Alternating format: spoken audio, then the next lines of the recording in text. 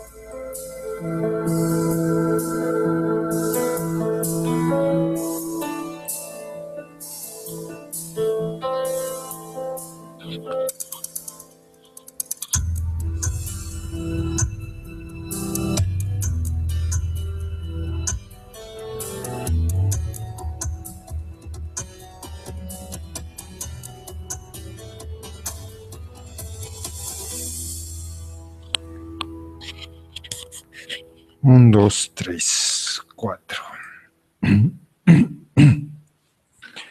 Y está emitiendo ya.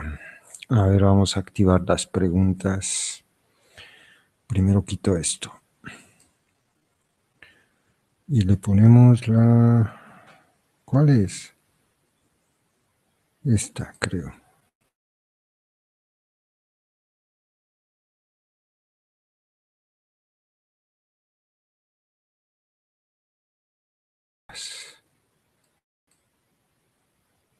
A ver. Se produjo un error al cargar la aplicación.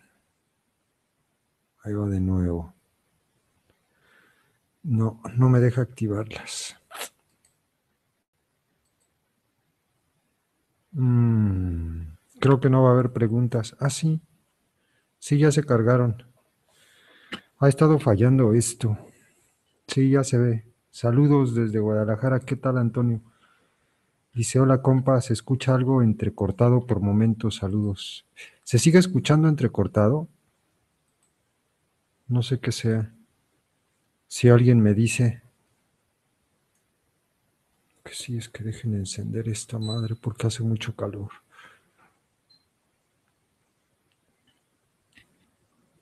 A ver si me dicen si se sigue escuchando entrecortado y también si se escucha el ruido del, del aire para apagarlo, pero me voy a asar que hace mucho calor. Ya nada más eso para empezar. Se escucha bien, dice Claudio Francisco. Uf, pues no sé si se escucha entrecortado. Voy a procurar no moverle nada para que no consuma tantos recursos. Entonces nada más con este. Pero bueno, este, a ver, vamos a, vamos a empezar. Primero, pues con un anuncio y pues ya para que se lo piensen al final en las preguntas. Es un anuncio y una propuesta. Eh, si se habrán dado cuenta, pues dejé de hacer transmisiones varios días, muchos, muchos días, porque pues he tenido problemas de salud, esa es la neta y, ya no me va a ser posible transmitir como, como ahora. Eh, voy a estar en un tratamiento, en un tratamiento largo, no sé cuánto tiempo pueda, pueda llevarme. Entonces, durante todo este tratamiento, no voy a poder siquiera eh, ponerme esta cosa en la cara, ¿no? Y hacer transmisiones. De hecho, pues si escucharon por ahí en las transmisiones anteriores, bueno, más bien en algunos videos no podía ni siquiera hablar. Y así va a ocurrir, o sea, así va a estar y no podría hacer transmisiones, pero pues la propuesta es que eh, si quieren los días sábados en la noche, noche de México, no sé, ustedes ponen la hora de 9 a 11, de 10 a 12, a la hora que quieran, todos los sábados se coordinan, nos conectamos aquí, eh, invitamos a dos o tres personas entre ustedes, se ponen de acuerdo y pues yo les presto el espacio, yo los conecto a todos aquí Yo no voy a poder ni hablar, eso sí se los garantizo. Y, este, y pues ustedes hacen la transmisión y comentan en relación a lo que quieran. Esa es la oferta. Si les interesa, ahí está. Para que no se pierda el espacio, estas transmisiones las empezamos a hacer. No se me olvida, yo ni siquiera había pensado jamás en hacer este tipo de cosas. Esto fue a partir de aquel acontecimiento en Antunes, en Michoacán. Mucha gente se le quedó en el, en el olvido.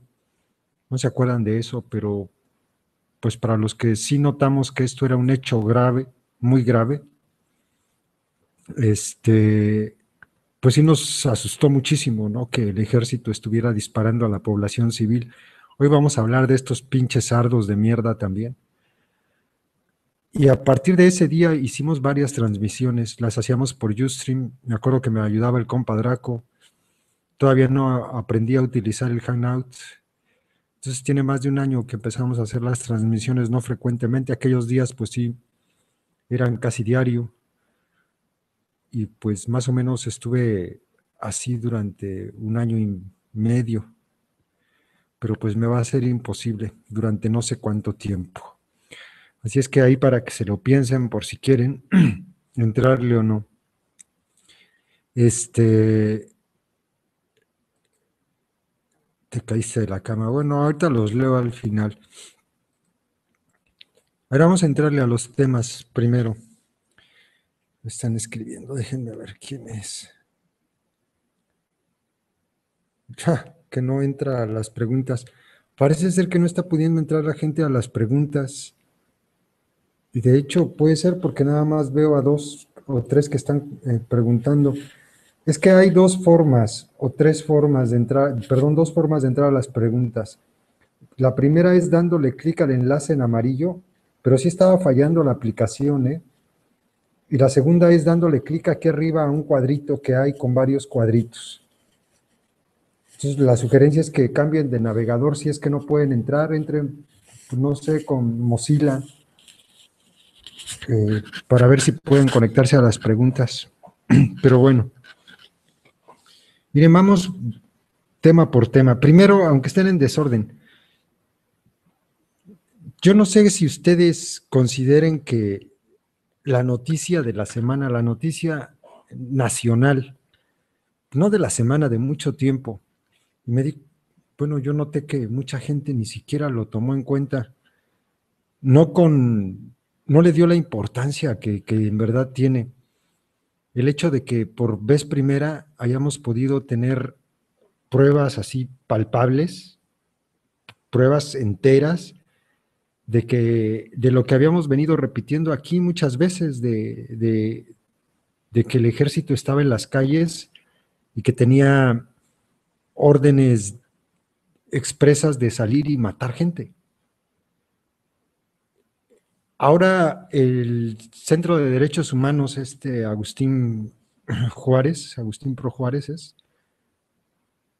nos muestra parte, parte de la, pues de la investigación, de parte de los documentos oficiales que tiene el Ministerio Público de la investigación que se está haciendo en relación al caso Tlatlaya, y hay ahí testimonios y hay documentos oficiales en los que se demuestra que el ejército tiene permiso para, más bien no permiso, tiene órdenes para salir a matar. Y otra vez volvemos a la polémica de donde los más imbéciles pues aplauden esto y no miran las consecuencias que tiene, ¿no? No lo dimensionan. Porque pues para ellos les decía yo de manera muy irónica en un post que puse en, tanto en mi cuenta como en la página de Facebook, para ellos es, parece ser que el soldado en la M60 que carga trae una, una aplicación, se bajó una aplicación de internet, entonces cuando está disparando puede ver a través de la mira eh, y la aplicación le dice, este es delincuente, este no. O sea, la aplicación le dice, ¿no? Es tan estúpido como eso. Y tiene otra aplicación que se bajó que lo convierte en este momento al activarla ahí antes de disparar, lo convierte primero en juez y también lo convierte en legislador al mismo tiempo. Hablamos del sardo, del, guacho, del, del, pinche sicario de verde que mandan a matar gente, ¿no? Porque eso es lo que eh, en los altos mandos y en la cadena de mando pues, se llega hasta el imbécil que malgobierna México, ¿no? Enrique Peña Nieto. Él es el comandante supremo de las Fuerzas Armadas. Entonces el último responsable de esto, pues es él. El primero, no el último. Y resulta que al soldado le dan permiso de salir y están tan capacitados nuestros soldados, dejando de lado la otra parte, la parte legal del asunto, están tan capacitados que son capaces de distinguir a ojo quién es un delincuente y quién no. ¿Cómo los distinguen? Pues fácil, mira. Si traes un tatuaje, eres delincuente. Si andas vestido así como estilo cholo, pues eres delincuente. Si traes una cadena de oro porque te gusta, pues eres delincuente. Si te vistes porque pues desafortunadamente en México la cultura del narco está bien arraigada, si te vistes con unas camisas estampadas, pues eres del narco, ¿no? Eh, si traes en tu coche eh, vidrios polarizados, eres narco. Si traes eh, narcocorridos que pues todo el mundo en México los escucha, pues también eres narco. Entonces la aplicación que traen en la M60 les permite distinguir, ¿no? Pues, este es narco y riata, güey. No se pregunten por qué hay tantos muertos en México y por qué tantas víctimas colaterales, como la llama el gobierno, cuando nos enteramos que el ejército no está en las calles para cumplir la labor que no debería estar cumpliendo, pero que supuestamente tendría que estar cumpliendo. Sea, supuestamente el enano genocida Felipe Calderón sacó el ejército a las calles porque reconocía que las policías municipales, estatales, federal, era incompetente, que no había podido detener la violencia en el país. Y entonces por eso dijo, ¿quiénes son, las, ¿quiénes son los cuerpos de seguridad mejor preparados en el país? Ah, pues el ejército. Y lo sacó a las calles violando la Constitución porque para poder haber hecho esto tenía que haberlo consultado con el Congreso y el Congreso lo tuvo que haber avalado. Eso nunca ocurrió, lo sacó a las calles por sus puros huevos. Y lo saca a las calles y ahí van los pinches guachos. Lo sacan, ¿no? Y, y nos enteramos que, que era porque supuestamente iban a cumplir las labores de policía. Pues bueno, en ningún ordenamiento de la policía, ni del ejército, ni de ningún cuerpo de seguridad, yo creo que en ningún lugar del mundo dice que tienen que salir a matar civiles.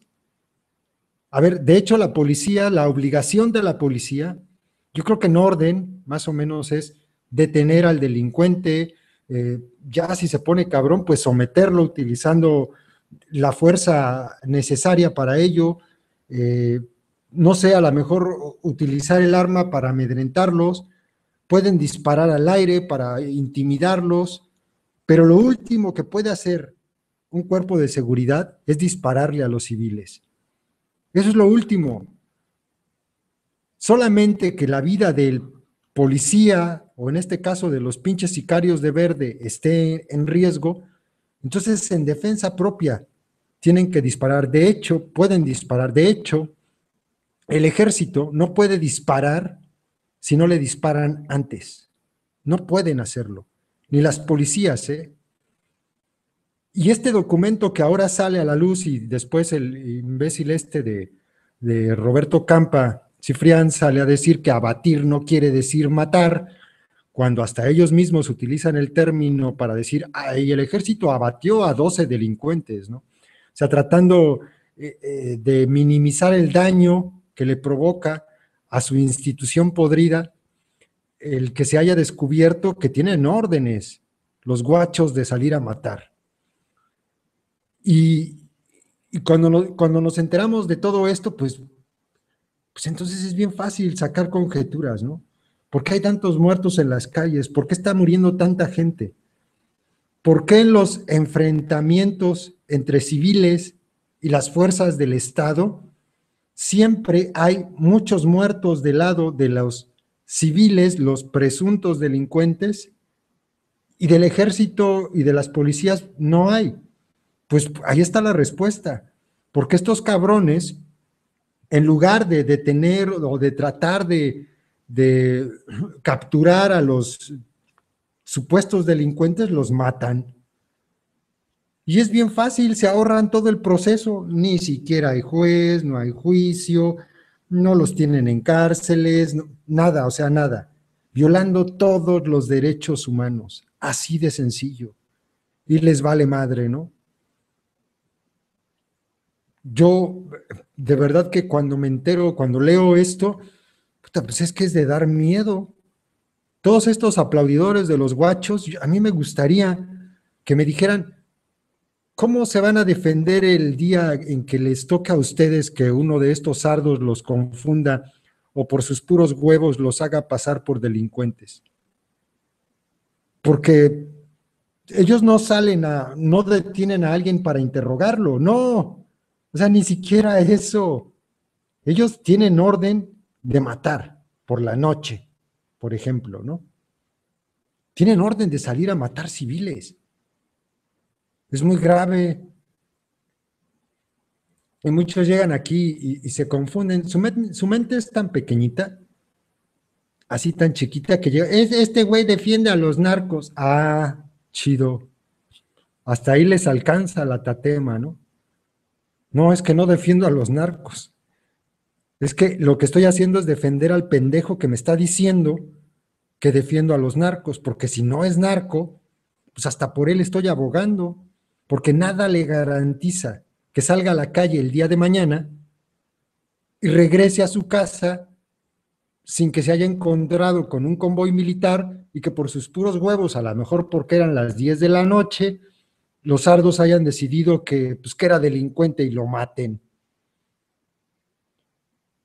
Y por eso vemos tanta brutalidad por parte de, estos cabrones, o sea, les, les otorgaron, eh, pues ahora sí que poderes absolutos de, de decidir entre la vida y la muerte de las personas. Que no les extrañe, entonces, ¿por qué en Tamazula la Marina desde un helicóptero artillado le disparó a unos menores de edad? Pues claro que no, pues si tienen órdenes, pueden hacer lo que se les dé su reputa gana. Que no les sorprenda por qué ocurrió lo de eh, lo que acaba de pasar en Michoacán.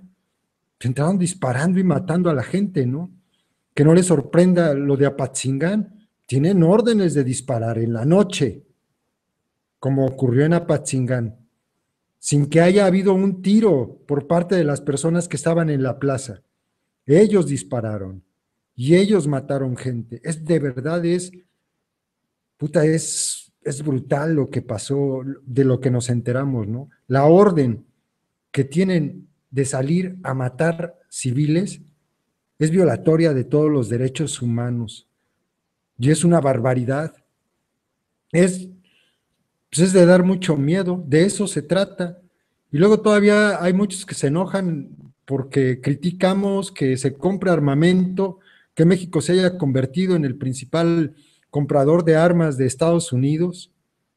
Pues si las armas son para esto, pendejos, están matando gente inocente. Los pinches soldados jamás van a poder eh, a, ojo de águila darse cuenta quién es delincuente y quién no. Eso es imposible. Si en un juicio a veces es difícil determinarlo, o sea, se pasan por el arco del triunfo la presunción de inocencia. Imagínense lo que pasó en Tamaulipas, por ejemplo, en estos últimos días. Un grupo de muchachos en una esquina platicando, llega el ejército, ah, chingas, son varios, son delincuentes, riata, y mataron a una chava, ¿no? O sea, eso es lo que no piensan.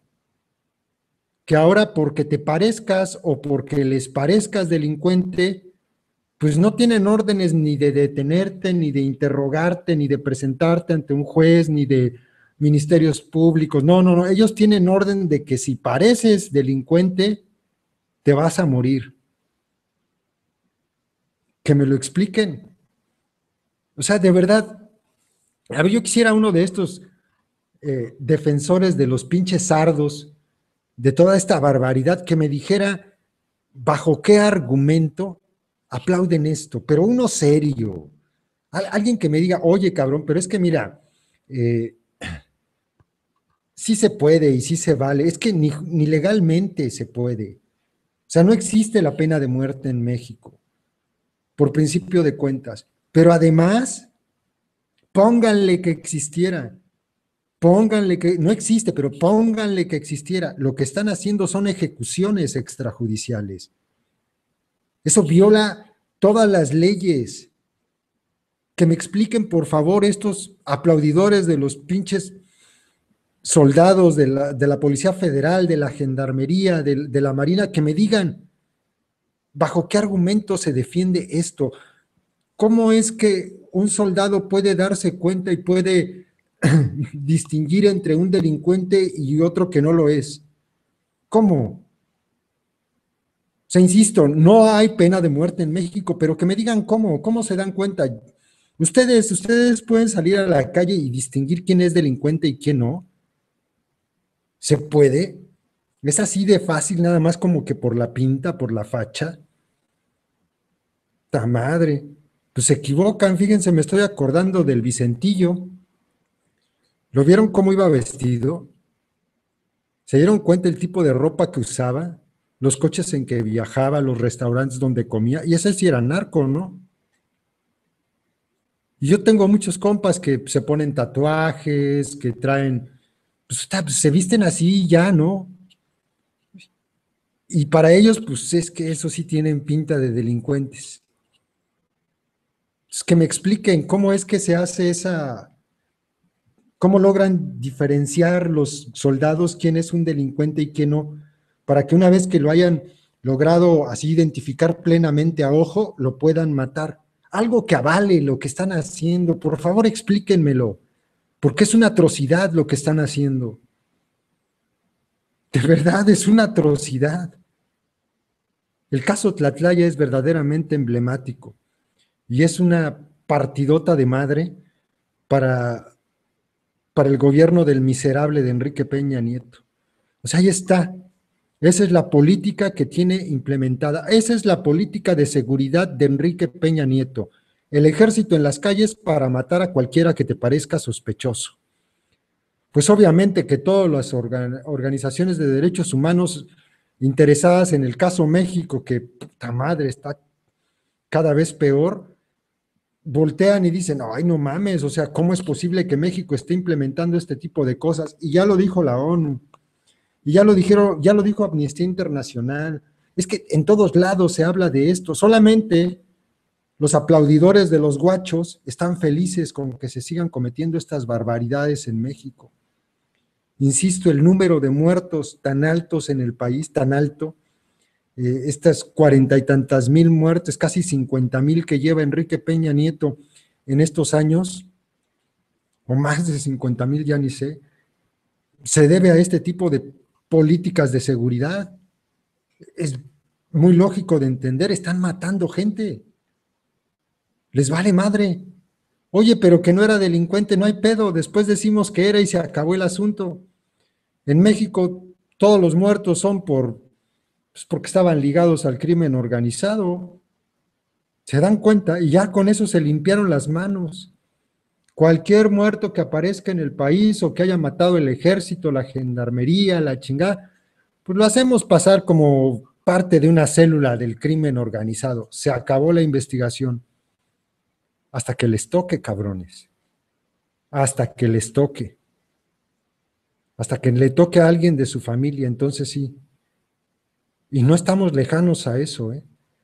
O sea, cada vez se acerca más y más y más la posibilidad de que a uno de estos que aplauden le toque vivir una experiencia así, porque le acaban de, otorgar poderes totales a los pinches sardos para salir y matar gente. A mí me pareció esto de lo más importante que se ha revelado se ha develado en los últimos, pues en los últimos tiempos y casi nadie lo tomó en cuenta. ¿eh? Sea, andamos perdidos en muchas cosas, pero esto sí es verdaderamente grave, ¿no? Es muy grave. Ocurren muchas cosas en el país, pero esto es muy importante. Nunca, nunca se había podido tener un documento oficial que lo, que lo comprobara y ahí está. Son las órdenes, las órdenes de los mandos del ejército mexicano que le están dando a los soldados para que salgan a abatir a los delincuentes en la noche. E insisto, hazte para allá, Suquito. No, vete para allá. La Suco. Ay, ahorita los leo. Bueno, este, por otro lado, ah, miren, bueno, dejando a un lado el, tema del, del, ejército, que bueno, sí es muy grave. Eh, les voy a comentar qué pasó con Zabludovsky. No, todos sabemos que se murió, pero me gustaría que regresaran, yo creo que lo vieron y si no, que regresen y vean el video que subí de él ese que dice que eh, hoy es un día soleado. Ay, se murió Sabludovsky, creo que así se llama. Hay como unos 10 o 12 videos atrás de este. Es que no logro entenderlo. Y siempre me mientan la madre. Yo también. Pero nadie, digo, en ningún video, desde yo creo que desde que hago videos, que ya tiene muchos años, en ningún video me habían mentado la madre tanto como en ese. De verdad entren, y ya borré muchas, o sea, muchas.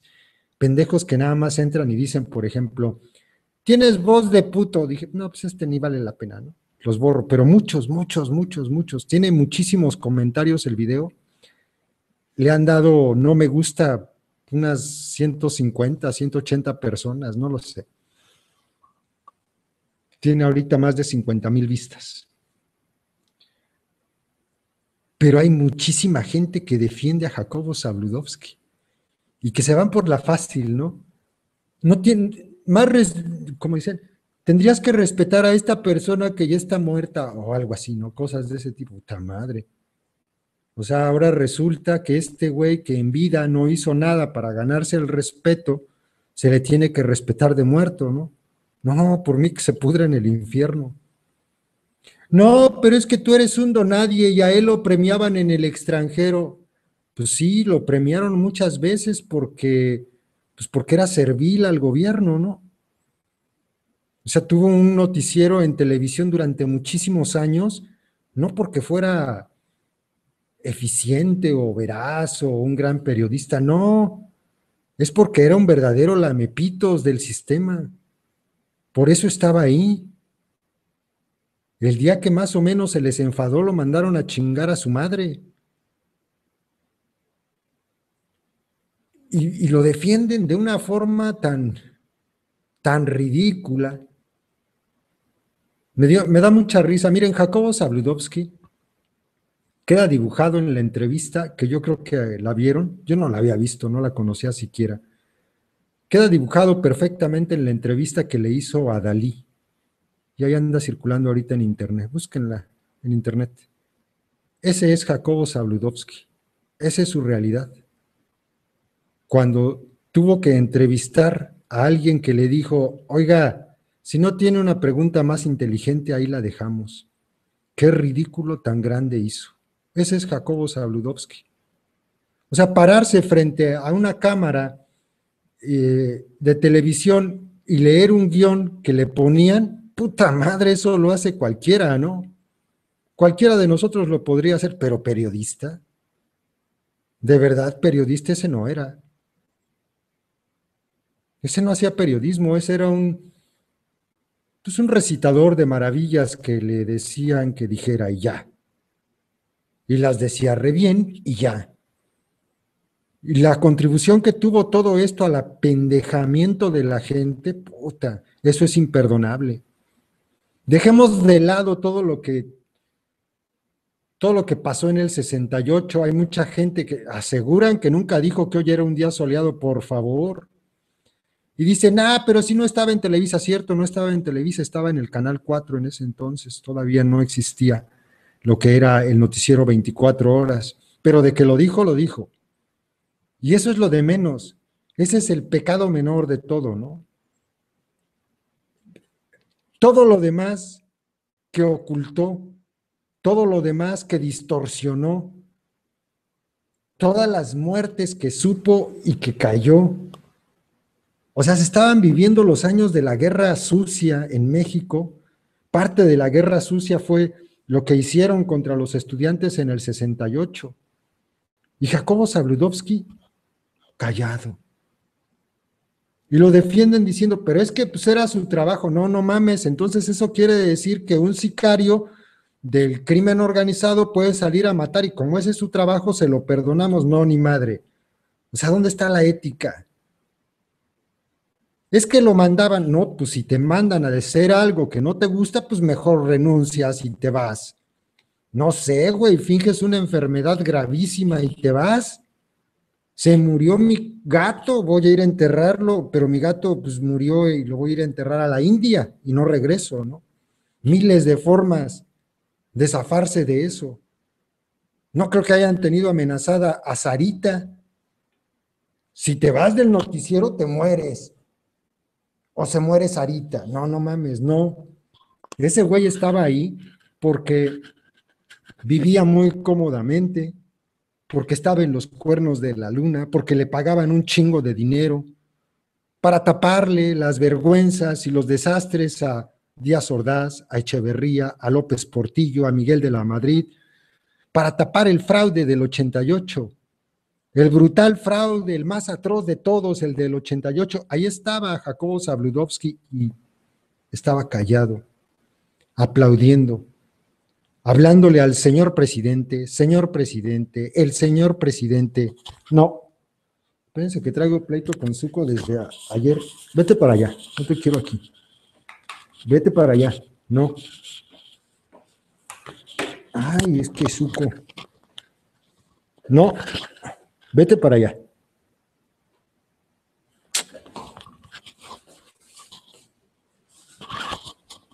Perdón, es que traigo pleito con Suco.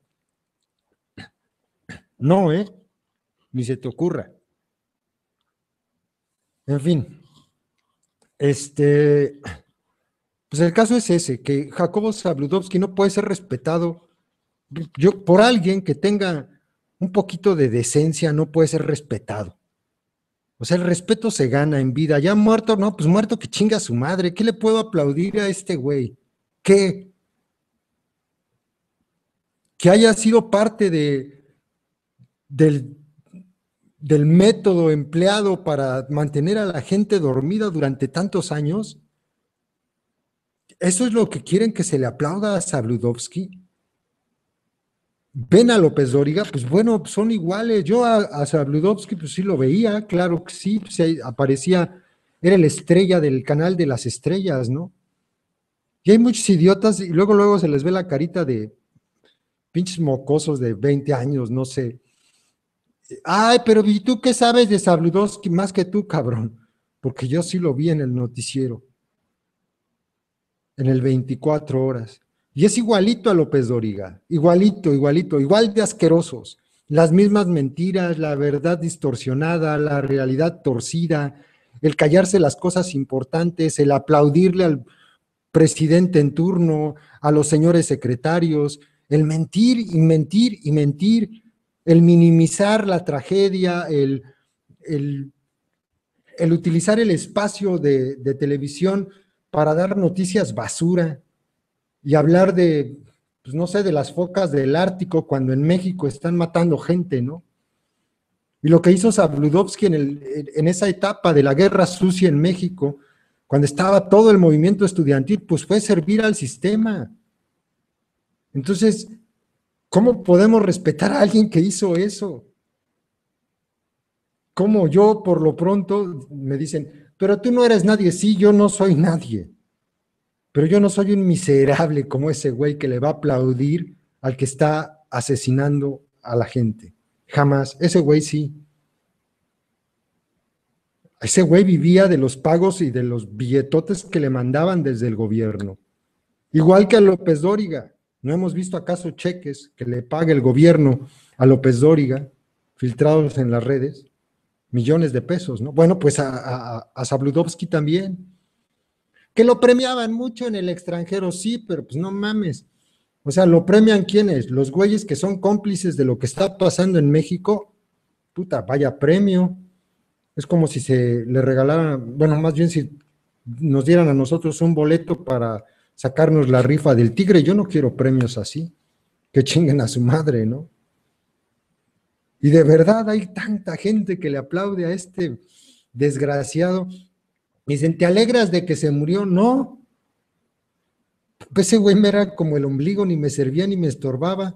Ahí estaba haciendo su programita pedorro en, radio en los últimos años, ¿no? Pero pues tampoco puedo dejar de, eh, o pude dejar el, el, día que se murió el cabrón, de mencionar que, que fue una basura de periodista que fue una lacra, que ese tipo de periodismo no, no se lo merece la gente. Y que se murió y que chingó a su madre y que, bendito Dios, este, ya no apareció en la televisión, ¿no? Pero lo aplauden. De verdad que es como el síndrome de Estocolmo, no mames, estamos adorando al verdugo. De verdad, parte del juego perverso en contra del pueblo y la gente lo aplaude. Al gran periodista Sabludovsky. No mamen. En serio, regresen a ver el video. Vean. Entren al video y dense cuenta la cantidad de comentarios. la gente en México sí está, mucha gente sí está bien pendeja. Por eso nos va como nos va. En serio que sí. Este, a ver, bueno, por otro lado, no puedo hablar mucho, así es que lo vamos a hacer más cortito. Grecia, lo que pasó en Grecia.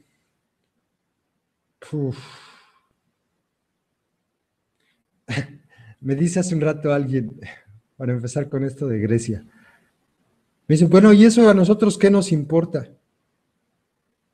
Ayer en la noche, anteayer en la noche, platicaba con una persona acá, hablábamos mucho del tema de Grecia y decíamos, ojalá, ojalá los mexicanos pudiéramos darnos cuenta de lo importante que es lo que va a pasar mañana en Grecia. Lo importante que es para nosotros, para todo el mundo, ¿eh? incluidos obviamente nosotros. ¿Por qué? ¿Por qué? Porque hay bien poquitos países, bien poquitos, que se han enfrentado al sistema financiero mundial y que han salido victoriosos. No estoy diciendo que Grecia haya triunfado para nada, ¿eh? Los cuentas con los dedos.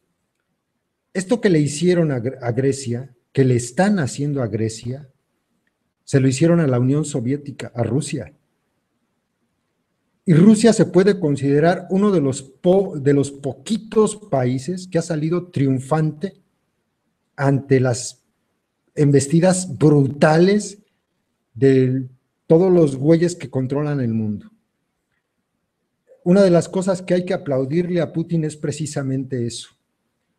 Cuando se rompe la Unión Soviética, entraron a, entraron a, a, lo que era la Unión Soviética, todos estos pinches buitres, empresarios, mafiosos de lobbies internacionales, los que tienen el dinero en el mundo, y empezaron a repartirse todo, absolutamente todo.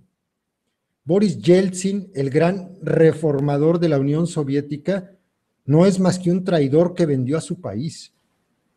Lo vendió, se lo entregó a los dueños del dinero, ¿no? Y, llegó eh, Vladimir Putin a la presidencia de, Rusia y le puso cara a estos hijos de puta que hoy tienen sometido a Grecia. Y se puede decir que Rusia es uno de los pocos países que les ha puesto cara y les ha ganado y les ha ganado en todas. Por eso los odian tanto. Y quisieran poder bloquearlos de mil maneras, pero no pueden. Y lo han intentado con Ucrania y lo han intentado, puta, de todas las formas. más, no lo invitan, eh, no es cuate de ellos, ni a tomar café. Y quisieran chingarlo y no pueden. Porque ha logrado eh, en Rusia, y se los digo porque conozco allá y sé que, que bueno, es que hasta cuesta trabajo entenderlo pero hagan de cuenta que si en Estados Unidos crearon, por ejemplo, no sé, una marca X de teléfono celular, no sé. como Rusia estaba bloqueado al mundo, cerrado al mundo, como, como, como vivió o vive esta especie de bloqueo parecido a lo que le hicieron a Cuba, pues entonces esas cosas no llegaban a Rusia. ¿Y qué hacía Rusia? Decía, no mames, pues vamos a hacer uno. Y entonces Rusia empezó a diseñar, a hacerse autosuficiente. Y sí, o sea, de hecho, díganme algo que, que haya en Europa, en Estados Unidos, en Japón, que no, que sea así muy novedoso de tecnología o de, no solo de tecnología, de lo que sea. Díganme, y de eso hay en Rusia, hagan de cuenta que el similar. Todo esto que le hicieron a Rusia lo obligó pues a esforzarse más. Y miren que no tiene tantos años de la caída del muro y de la ruptura de la Unión Soviética. Y hoy Rusia es una potencia. Quisieron chingarlos y no pudieron y no van a poder. Son unos buitres, son unos hijos de puta. El Fondo Monetario Internacional, eh, el Banco Central Europeo, la Unión Europea, son unos desgraciados. Hay un documental que me gustaría mucho, búsquenlo, de verdad vale la pena, para entender lo que está pasando en Europa para entender lo que está pasando con Grecia, busquen el documental, se llama Catastroika, para que vean lo que es el neoliberalismo así crudo, para que vean, porque también vamos a entender qué es lo que está pasando en México. Nosotros vamos para allá que volamos. Nosotros no tenemos un, un primer ministro o un presidente que salga a defender a los mexicanos, no. Nuestros presidentes están entregados completamente. Este documental, de verdad, se lo recomiendo muchísimo porque está bien explicadito de pe a pa, paso por paso, cómo empezaron las políticas neoliberales, cómo las ensayaron por primera vez en Chile y cómo de ahí las importaron después a Turquía y cómo se las aplicaron después a Grecia y cómo se las aplicaron a Rusia y cómo, cómo han ido país por país ensayando, ensayando. Francia, Italia, Portugal, España, Grecia, Turquía, eh, la misma Rusia, Ucrania, los Estados Unidos, es más, Inglaterra misma, ¿no? Y cómo han ido poco a poco privatizando lo público. Yo, fíjense que yo ya había visto el documental, ayer lo volví a ver, y me quedó clara una idea, a ver si logro transmitírselas. Miren cómo es absurdo privatizar por privatizar y privatizar para ayudar a los compis, a los que tienen el dinero. Hay una reflexión en ese documental que es bien, bien, bien chingona para ponernos a pensar de, cómo estos desgraciados eh, privatizan nada más con el puro afán de chingar a la gente y de hacerse más ricos. Dicen por ahí, a ver, que alguien me explique, en el documental lo dice, que alguien me explique dónde está la competencia de privatizar la, la industria eléctrica. Dice, porque pues no ves que la empresa A, la empresa B la empresa C o la empresa D instale cada una su cableado o su, toda la instalación eléctrica en el país. Dice, no, no, no. O sea, todas están ahí utilizando un mismo cableado que ya esté instalado por el Estado, y entonces, ¿dónde está la competencia? dices tú, ah, cabrón, pues sí es cierto. ¿Hay mejoras en la calidad? No. Al contrario, cuando cuantas más manos están metidas en la industria eléctrica, la calidad disminuye. ¿Qué es lo que aumenta? Pues los costos. Oye, pero es que las industrias privadas, las empresas privadas invierten en, pues, no sé, en la mejora de la infraestructura. No es cierto. En realidad, como son concesionadas, el usuario está obligado, es decir, el pueblo está obligado a que en su recibo se le cobre para poder seguir eh, dándole mantenimiento a la, a la infraestructura eléctrica. Y te quedas pensando y dices, no mames, es cierto. Y es un ejemplo muy claro, pero habla de otros ejemplos, ¿no? Habla de los trenes. ¿Se acuerdan de la privatización de, ferrocarriles nacionales? Bueno, pues ahí lo dice. En ese documental lo dice. Fíjense nada más. Dice por ahí uno de, los, de las personas, porque da varios ejemplos, ¿no? De, de cómo han tratado de privatizar los ferrocarriles en muchos países y el desastre que ha sido. Pues bueno, tan desastre es que es imposible privatizar algo como los ferrocarriles y que salga bien. Ahí está México. Privatizaron ferrocarriles nacionales y ya no tenemos trenes en México. Se acabó. Bueno, pues todas estas medidas, ah, lo del agua, la privatización del agua, ensayada en Francia, un desastre, un verdadero desastre. En Francia, un primer ministro llegó y dijo, pues bueno, vamos a dividir París en dos, chingue su madre, de aquí para acá para una compañía y de aquí para acá para otra compañía. Y privatizaron el agua con el engaño de decirle a la gente, no, pues es que no les vamos a, o sea, no nos vamos a llevar el agua, nosotros nada más vamos a operar pues la facturación y todo el desmadre. Privatizaron el agua en Francia. ¿Qué provocó esto? Pues el alza, inmediatamente el alza en las facturas del agua hasta de un 200%, ¿no? Mejoras en el servicio, no ninguna. ¿Por qué? Pues porque es la misma infraestructura del Estado. Oye, pero que las empresas invierten para mejorarla, no, no invierten. Porque parte de las ganancias de las empresas que ganan este tipo de concesiones es no invertir en infraestructura. Y dices tú, no mames, ¿y entonces dónde está el negocio? Pues bien fácil, cuando ya se hincharon los bolsillos, se declaran en quiebra y llega el Estado y rescata estas empresas, como ha pasado en México con las carreteras, con los bancos, las rescata el Estado, es decir, las paga el pueblo y después las vuelven a vender. Ese es el neoliberalismo. Eso es lo que está, y eso es lo que hicieron en Grecia. Pero no de ahorita, o sea, que no vengan a querer lavar el, eh, lavarle el cerebro a la gente, a decir que tiene esto, ¿cuántos meses tiene eh, Siriza en el gobierno en enero? Cinco o seis meses. No. O sea, Grecia tiene en bancarrota 200 años. Grecia ha padecido uno de los experimentos más brutales de toda la historia de la humanidad. Lo que está viviendo la gente en Grecia es una verdadera tragedia humanitaria.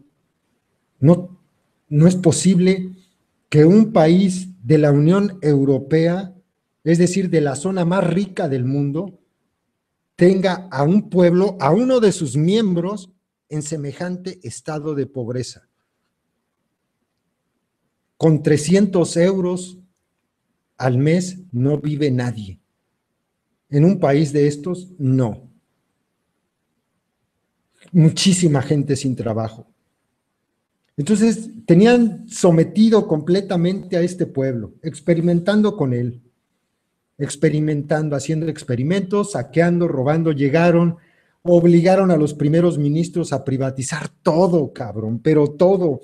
Bueno, insisto, vean catastroica, llegaron a tal grado de cinismo de que para que la gente no, obviamente no, no pegar el grito en el cielo, en los documentos que presentaban estas empresas, estos lobbies que llegaron a apoderarse de todo en Grecia, quedaba especificado, oigan, pero no porque el Partenón ya sea eh, propiedad privada nos lo vamos a llevar, no se preocupen, va a estar aquí en Grecia, de verdad.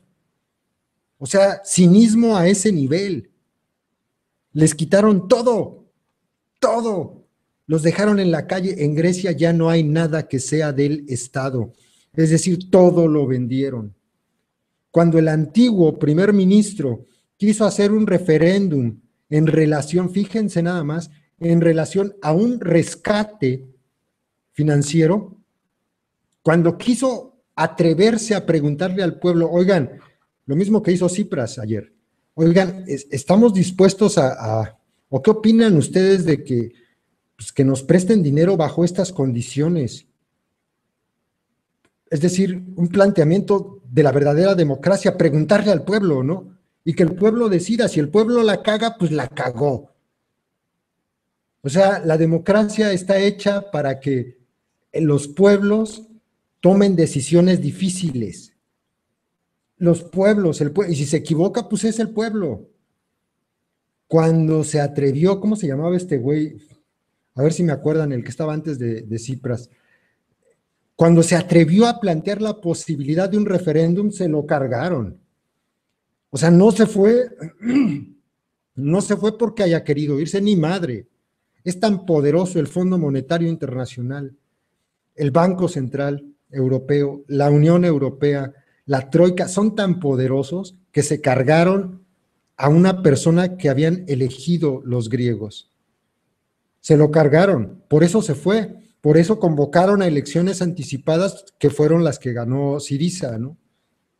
Ahora, yo, la crítica más grande que le he hecho, y sí he sido bien crítico de esto que le hice y le sigo haciendo a Siriza, es que todo esto que está pasando el día de hoy, cuando fue la campaña electoral, jamás lo dijeron, ¿eh?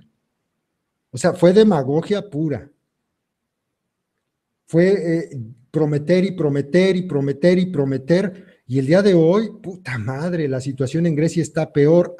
Sin embargo, quiero reconocer que sinceramente lo que está haciendo Cipras y lo que está haciendo el ministro, sobre todo el ministro de Finanzas, Varoufakis, no mames, me pongo de pie. Y sobre todo, lo que están haciendo los griegos, qué pinches huevos nos están demostrando.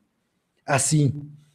Ayer les pusieron a escoger no entre salir del euro y no, eso no estaba en duda. No estaba en duda. De hecho, a menos que de manera arbitraria quiera la Unión Europea expulsar a, Grecia, ocurriría porque no existen mecanismos legales para expulsar a ninguno de los miembros de la Unión Europea. Pueden entrar países, pero no pueden salir. No existe en la legislación. O sea, no, pueden, no puede decir mañana Angela Merkel, que ha de estar bien encabronada, eh, Grecia este, ya no es parte del euro. No puede, no existe porque estaría violando las leyes, no, no se puede. Entonces, ayer lo que estaban, lo que pusieron a escoger a los griegos no fue entre se quedan en el euro o se van del euro, no. Ayer le dijeron a la gente y, y los griegos lo supieron entender bien, muy bien. Ojalá tuviéramos esa capacidad de discernimiento en México. Lo que les pusieron a escoger fue lo siguiente: algo que ya sabían, y algo que les dejaba una duda. ¿Qué sabían? Que si votaban que sí, lo que han vivido en los últimos años iba a ocurrir, pero peor. Eso sabían. Porque la, la propuesta del Banco Central y de la Unión Europea era brutal, o sea, es una barbaridad. Es como si les, eh, si le, dices a un taxista, oye, pues veo que andas quebrado de dinero, ¿no? No, pues sí. Pues te voy a prestar dinero para que remodeles tu coche, pero te voy a quitar las llantas. Eso le hicieron a Grecia. Entonces la gente entendió, dijo, no mames, votar sí, es votar por más recortes, por más pobreza, por más privatizaciones, por menos empleo, por, por todo esto que ya hemos venido ensayando, que ya nos han dicho que eran las medidas para salir de la crisis y que tenemos seis años siguiendo y que no pasa nada. Ya esto ya lo sabían. Y votar no era decir, puta, no sé qué va a pasar. ¿Se dan cuenta? O sea, Grecia, los griegos ayer dieron un salto al, abismo, no saben si abajo hay paja, no saben si abajo hay una alberquita o está el cemento llano y puro y van a llegar y se van a estrellar y se los va a cargar la chingada, no lo saben. Pero lo que sí sabían es que continuar con la misma política, pues era ir suicidándose poco a poco.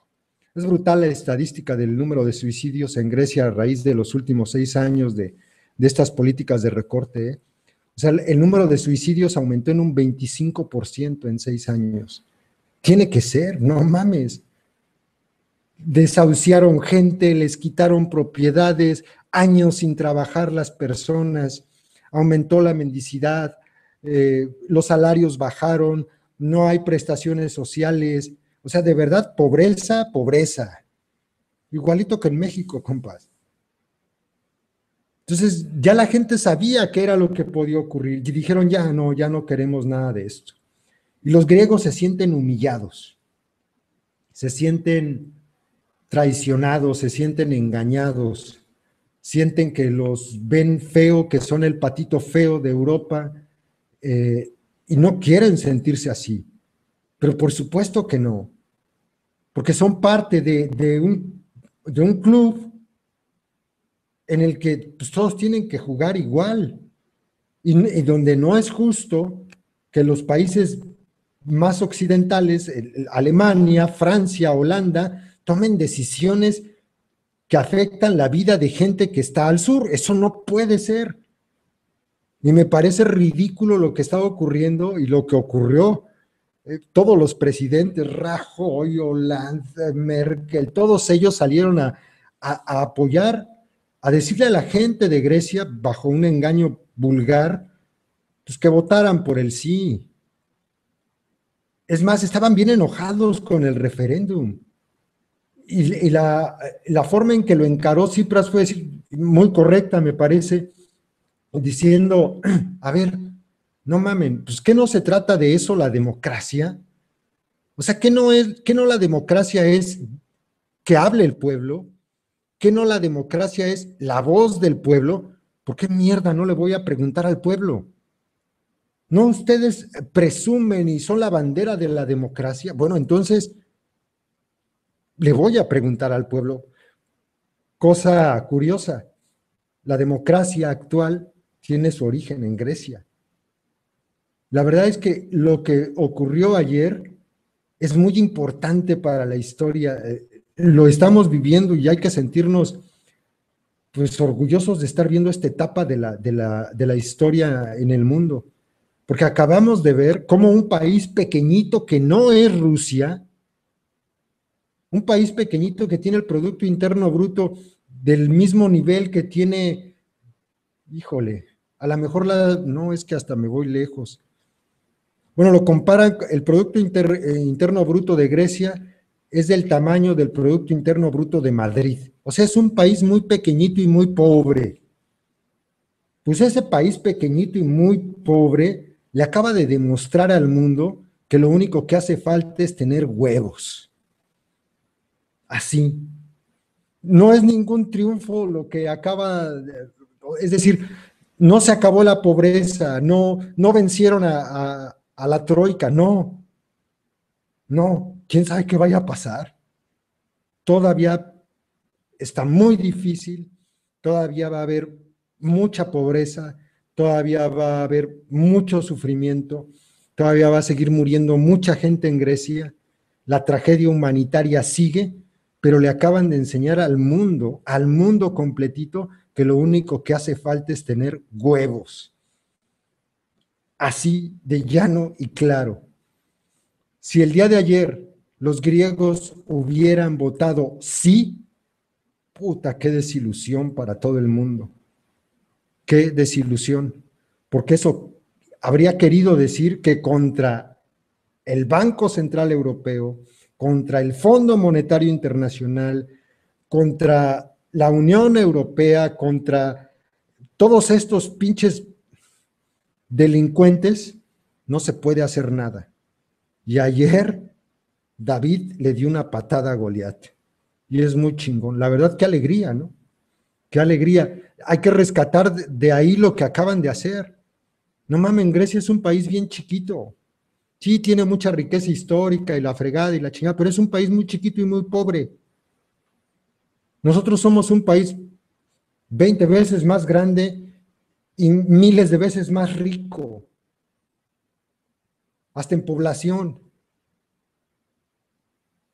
No podemos, este, o no podremos tomar un poquito de la enseñanza de estos cabrones, o sea, algo así un poquito es decir, primero se necesita dignidad. Los griegos ya no pensaron ayer, nos vamos a morir de hambre. No, güey, eso es lo de menos. Hay que morirnos de hambre, pero dignamente. Oye, pero que te vas a tirar a un abismo. Y si me quedo, de todas formas, me voy a morir de hambre. A lo mejor acá tengo la posibilidad de que venga un ángel de cielo y cuando vaya cayendo me levante. Así de grave era, ¿eh? Esa es la decisión que tuvieron que tomar. Y solamente los más pendejos pueden creer que votar sí habría sido lo mejor. El voto del sí en, Grecia ayer se debe a dos cosas. Primero, tres o cuatro gatos que se benefician de él, como siempre en todos los países, y la gran mayoría del 40% que votó sí fue por el miedo que les infundieron desde todos lados. ¿eh? Pasaban acá anuncios de la televisión privada en Grecia, no mames. O sea, con unas mentiras intimidando a la gente, casi, casi diciéndoles, ah, ¿se acuerdan de los anuncios que hizo Calderón contra el PG? Así, de ese tipo. Cosas como, por ejemplo, en una semana, ¿cómo era? Decía el anuncio, si votas no, en una semana y aparecía ¿no? un supermercado vacío, los estantes vacíos. obviamente mucha gente le dio miedo, ¿no? Por supuesto, o sea, no votaron convencidos. Habrá los que no quieran a Siriza, por supuesto, pero son los menos. La gran mayoría de ese voto por el sí fue voto por miedo. Les infundieron un miedo atroz los engañaban, les decían que los iban a sacar del euro, eh, que ya no iban a ser europeos y ellos tienen muy arraigado eso, ¿no? Es como si nos dijeran a nosotros, pues ya no van a ser americanos, ¿no? Oye, no mames, pues nosotros somos, además de mexicanos, somos americanos, ¿no? No, pues ya no van a ser, ¿no? ¿Por qué? Pues porque si votas por el no, ya no vas a ser. Ah, cabrón. O sea, esas cosas estuvieron haciendo. Entonces, fue, pues fue brutal la campaña.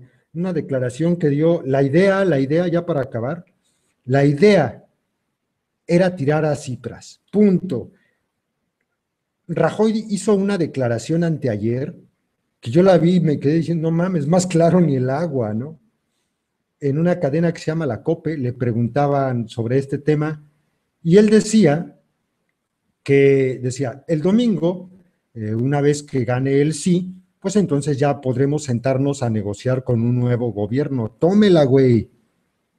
O sea, eh, sí se dan cuenta que era lo que querían, presionar para que la gente le diera el triunfo al sí para que Siriza saliera del gobierno. Así de puercos son. Díganme si eso es o no un golpe de Estado financiero, ¿eh? político financiero, o sea, querían, le estaban haciendo, le estaban dando un golpe de Estado a Grecia, querían tirar al gobierno. Otra vez, ya lo habían hecho con el anterior ministro. Pensaron que le iban a poder hacer lo mismo y les dijo a la gente en Grecia, tengan. La verdad, qué alegría. Lo estamos viendo, son muy poquitos los países donde ocurre esto. Otro caso es Islandia. Lo que ocurrió allá también es igual, pero son muy poquitos. Otro caso en América Latina, un caso así fehaciente en América Latina es Bolivia, brutal.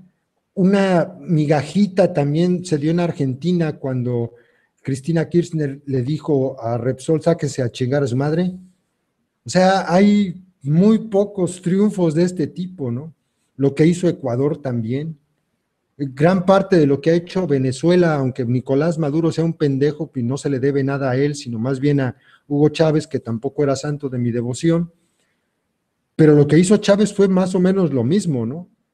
O sea, un país eh, se pone por primera vez, un país en América Latina, ¿eh? después de Cuba, se pone por primera vez de frente a los Estados Unidos con todo lo que representa Estados Unidos y le dice, ya estuvo bueno, hijo de puta se acabó. Eso fue lo que pasó en Venezuela. Entonces esto ocurre muy poquitas veces en la historia. Muy poquitos se atreven. Casi ninguno lo logra. Ah, la gran mayoría se somete. España está sometida. Portugal está sometido. Irlanda está sometido. Todos los países europeos están sometidos a las órdenes de Angela Merkel. Punto. Todos. Y todos están viviendo en Europa se está viviendo una crisis atroz. No crean ustedes que Francia, ah, los franceses, no, ni madre. Hay un montón de pobreza y sometidos todos por culpa de sus gobiernos. Por eso es de verdad muy, muy valioso lo que pasó el día de ayer con Grecia, muy valioso.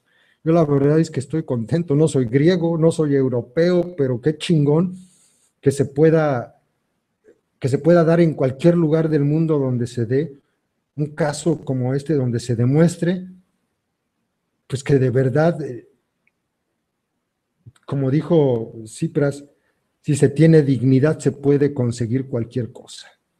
Qué dignidad, en serio. Ya para acabar les digo, a lo mejor mañana, a lo mejor mañana pues los, ahorcan más, ¿no? O sea, mañana no les dan liquidez en el banco y, y sigue el corralito y todo esto, ¿no? A lo mejor puede ocurrir, es una probabilidad, es una posibilidad muy grande, puede ocurrir. Pero no mames, o sea, decirle por primera vez a estos pinches buitres eh, usureros que no y hacerlo de una forma tan contundente es histórico. Sí, o sea, sí. Ahora sí que los griegos escogieron su forma de morir y eso no lo hace cualquiera. Su forma de morir o de vivir. No sabemos qué pueda pasar. Pero dijeron, de esta manera, de esta que nos están planteando desde hace años, de esta manera no queremos morir. No sé de cuál, pero de esta no. Eso hicieron ayer los griegos. Pues bueno, este, déjenlos leo. Dice Federico Rosas, Aris Televisa sacó una telenovela donde existe una empresa petrolera, gasera, que es privada y combate el robo del crudo. ¿Crees que es una forma de que la gente acepte la privatización de Pemex a huevo? Claro, por supuesto. Es que los medios de comunicación, ahí donde trabajaba Jacobo, son, están hechos para eso. Vean el documental de Catastroica, por favor, véanlo, véanlo, pierdan una hora veinte de su vida para que entiendan eso. A esa pregunta ahí te la explica completita Federico Rosas. Por eso es, los medios de comunicación juegan un papel bien importante. En todo el entramado perverso de estos ojetes neoliberales, los medios de comunicación son pieza fundamental. ¿Cómo mantienes a la gente convencida de que lo que estás haciendo está bien? ¿Cómo? De manera masiva. ¿Cómo? Pues haciendo esto, repitiendo mil veces una mentira hasta que crean que esa es la verdad. Así es. No es de hoy, o sea, es la, la manipulación de la mente, ¿no? Lo utilizaron los alemanes, Goebbels, ¿no? Joseph Goebbels repítela mil veces hasta que se vuelva verdad. Es eso, así es. Se los vuelvo a recomendar, vean Catastroica. Dice Ángel de la verdad, hola Ángel. Jacobo debe ser recordado como el perro más vil, pues como un mercenario de la información. Por mí, igual que cualquier otro güey que esté ahí dando noticias, igual que Loret, igual que López Dóriga, es lo mismo, es lo mismo. Dice Lobo Estepario, ¿qué onda Lobo? Insisto, tenemos que sacar a este enmascarado de YouTube, así como a grillonautas y meterlos en las casas de todos los mexicanos y hacer frente a las armas poderosas del gobierno, Telerisa y TV Azteca. Chale. Este. Dice Yoko Saiyo. Yoko Saiyo. Suco solo quiere amor. Sí, pues, pero es que ha estado de traviesa desde ayer. Traemos pleito casado la Suki y yo. Saludos, Marcos Transistor. Dice, hola Aris, buenas noches, saludos desde Naucalpan, Estado de México. Pues yo opino que por lo menos Jacobo servirá ahora sí de algo bueno como abono para los árboles y plantas y que chinga a su madre el puto. Pues sí. Dice compa Gavito, Hoy se cumple un mes de lo acontecido de forma vil y asquerosa que hicieron a estudiantes de la Universidad Veracruzana. Fue el narcoestado represor de Duarte. Fíjate que he estado, es que me puse bien mal, cabrón. Y hasta quedé de platicar con Julián. A ver si en estos días podemos grabarnos en Skype, cuando menos para subir un video, o invitarlo y ya platican ustedes con él aquí. Yo, esta es la última que voy a hacer, pero sí, hoy se cumple un mes. Y Ahorita que menciona esto el compa Gavito, no sé si notaron subidos videos en relación a este tema de, los periodistas. Aparece la amenaza directa de Javier Duarte diciéndole a los periodistas, pórtense bien, ¿eh? porque ya sabemos que algunos de ustedes andan en malos pasos, ¡pum! A los dos días aparece muerto Juan Mendoza, un periodista más en Veracruz. ¿Coincidencia? No, no, no. Cuando se trata de Duarte, de Veracruz, de periodismo, no es coincidencia. No es coincidencia. Es un delincuente, Javier Duarte. Dice Marcos Transistor. Dice, oye, ¿qué onda con el asilo de ancianos que se quemó en Baja California? Le dieron más seguimiento a los güeyes que maltrataban a los perros en Chihuahua de las mascotas. Tienes razón. La verdad es que ya no encontramos más información del caso. Qué buen apunte, Marcos Transistor. Tienes razón, o sea, ya no supimos nada. Aquí hablamos de eso la, ocasión anterior. Y pues resulta que no va a haber culpables, ¿no?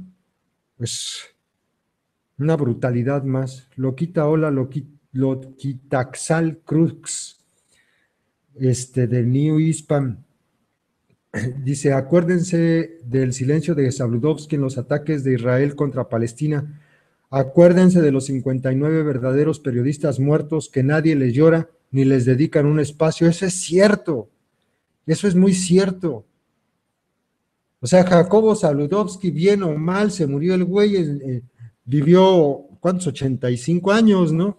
Vivió como rey, el hijo de puta, ganó dinero, lucrando con el, con el dolor de la gente, vivió como rey. Esa es la realidad. A Juan Mendoza lo mataron porque seguramente publicó algo que no le gustó al alcalde de Medellín. Juan Mendoza sí era periodista, Jacobo Zabludovsky no. Esa es la gran diferencia. Jacobo Zabludovsky no se jugaba la vida por callarse. Juan Mendoza se la jugaba por hablar, por eso lo mataron. Y le aplauden a Zabludovsky y a Juan Mendoza, pues se nos va a olvidar quién es en, en un mes, ¿no? Y Moisés Sánchez.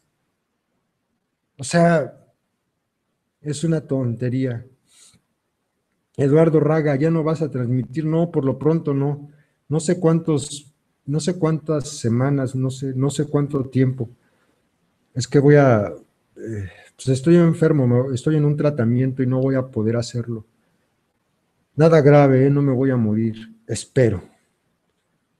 Pero pues no voy a poder. De todas maneras, insisto, si quieren el espacio está ahí, aquí, si quieren entrar, nos conectamos, yo me callo y ustedes hablan.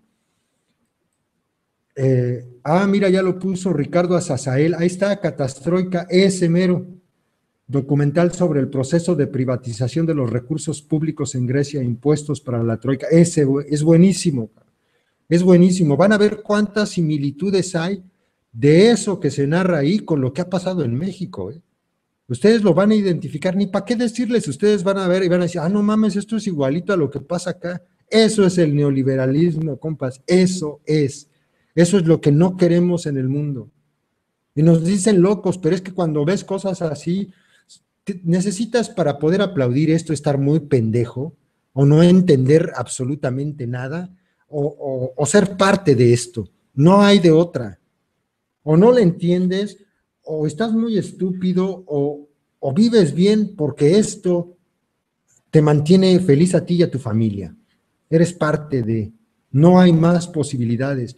De verdad que se necesita no tener corazón para ver lo que provocan estos hijos de puta en los países, eh, yo creo que a veces hasta como que avientan un dardo, ¿no? Y da ahí en el, en el mapa y dicen, ah, mira, le tocó a Grecia y contra él, cabrón, y, y se deciden cargarse a un país y se lo cargan, porque pueden. Y me decía ayer una reflexión que hacía con unas personas, hablábamos de esto, me decían, oye, ¿y sabes por qué no le pasó lo mismo que a Ucrania? Y yo decía, ¿cómo a Ucrania? Sí, pues ¿qué pasó con Ucrania cuando le dijeron a, Europa que no querían ser parte de la Unión Europea. Ah, pues les organizaron una guerra, ¿no? Y si sabes por qué no le hacen lo mismo a Grecia, no, no entiendo por qué. Pues porque Grecia forma parte de la Unión Europea. Y porque sería muy mal vista una guerra, si no, puta madre, que si no les estuvieran haciendo lo mismo. Si no es de manera económica, es política, o si no, pues para eso tienen las armas, para eso está la OTAN a Ucrania le hicieron esto, ¿no? ¿Qué pasó en Ucrania? Ucrania hace una votación y decide eh, en un referéndum, no miento, no. Ucrania, es que no, no me acuerdo si fue en un referéndum. El caso es que iba a haber una votación para decidir si entraban a formar parte de la Unión Europea o no. Y la gente en Ucrania dijo, no, no queremos. Oye, pero ¿qué es Europa? La Europa rica, no queremos. ¿Qué hizo la Unión Europea? Pues les organizó una guerra. Eso fue lo que pasó. Y derrocaron a un gobierno, impusieron a un títere y es muy probable que dentro de poco tiempo Ucrania sea parte de la Unión Europea. Con Grecia no han armado guerra porque es parte de la Unión Europea, si no ya se lo hubieran cargado. Militarmente, puta que si no. Claro que sí. Dice México Libre, ahora primero matan y luego va a ver si preguntan y te siembran armas y te avientan a las fosas. Y no dudo que a muchos sardos ya les haya pasado que no tienen sentimientos, son psicópatas, acuérdate, por eso no sienten culpa. Sí, en relación al primer tema, muy grave lo del ejército, ¿eh? es muy grave. Ahí están, síganles aplaudiendo a los guachos. Juan Carlos Espinosa Chapa dice, te escribo de Zamora, Michoacán. El pasado viernes en, el, eh, en relación al tiroteo que hubo en, la, en Jacona, sí lo vi, subí un video, sí, subí un video. Yo conozco bien allá en Jacona, Guaracha y todo eso, compa. Dice, Zamora está lleno de militares patrullando. Claro, fue por el mismo enfrentamiento, supongo, ¿no? Dice, no hombre, ahora está más difícil, ellos visten con pura marca y nosotros sin marca somos, con pura marca, perdón, y nosotros sin marca, nosotros nos bañamos cuerpo, alma y moral y nos juzgan por decir la verdad y ellos apestosos, pero con perfumes francés para sentirse gente bien y no los juzgan. Ay, doctora. Dice Claudio Francisco Reyes, hola, tipo, hazlo tipo radio para que te quites el pasamontañas, compa. Pues sí, el problema es que va a haber muchos días en los que no pueda hablar, es que no puedo hablar. Me duele abrir la boca créeme. Dice, hola, ¿qué onda Andrés? Saludos desde Argentina. Loquita dice, habla de lo que, de lo del testigo de Tlatlaya y del posicionamiento del Centro de Derechos Pro Juárez. Sí, es lo que comentábamos, ¿no? Ah, mira lo que dice Loquita. Se hizo más revuelo de la muerte de Jacobo que de Julio Scherer o de Vicente Leñero. Claro, pero pues es que Vicente Leñero no daba las noticias en 24 horas. Esa, esa es la gran diferencia, ¿no? Pero de ellos no, ni quien se acuerde, ¿no? Ni quien se acuerde. Vicente Leñero, pues quién sabe. Sí, así es. Dice México Libre. Hola, señor Arizuco, gracias por estar por este rumbo. Nomás ya sabe, no hable mucho para que no se lastime, pero no puede irse, hágalo por Justin y así no nos asusta. No te creas, ya sabes que te estime y hay que cuidarse. Pues sí,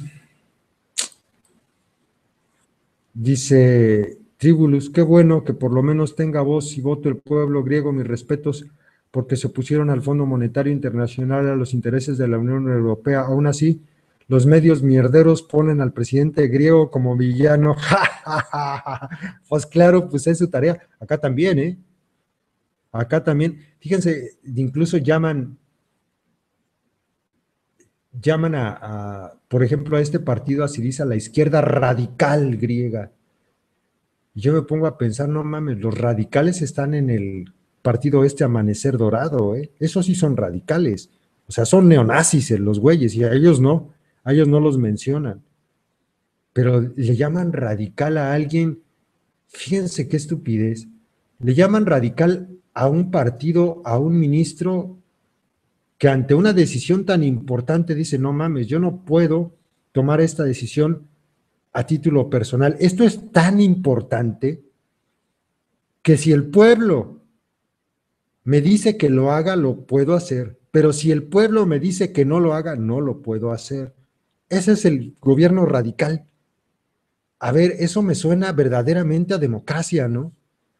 Un gobierno radical es el que impone, entonces habría llegado Cipras a decir no. ¿Por qué? Pues por mis huevos. Pero ahora llega con el mandato del pueblo. Y entonces, si no les gusta, se joden.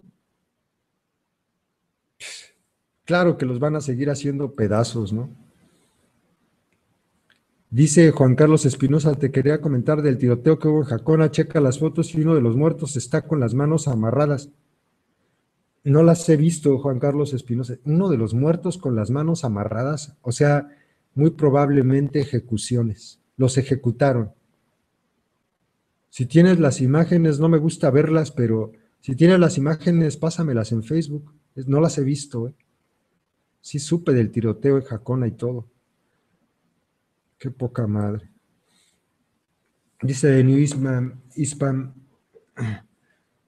Aris, use loquendo para tu enfermedad. No está chido como antes, pero estaría bien. El ¿eh? Para escucharme como robot, sí. Dice Big Boss, si Grecia tocó fondo y eso, sí, Grecia tocó fondo y eso que no tenía un gobierno tan corrupto, tan ineto, tan rapaz y genocida como el que tenemos. ¿Qué tipo de vejez le espera a nuestra generación en esta asquerosa narcorepubliqueta bananera? ¿Qué tipo de vejez nos espera no tan solo a nuestra juventud, a nosotros? qué triste.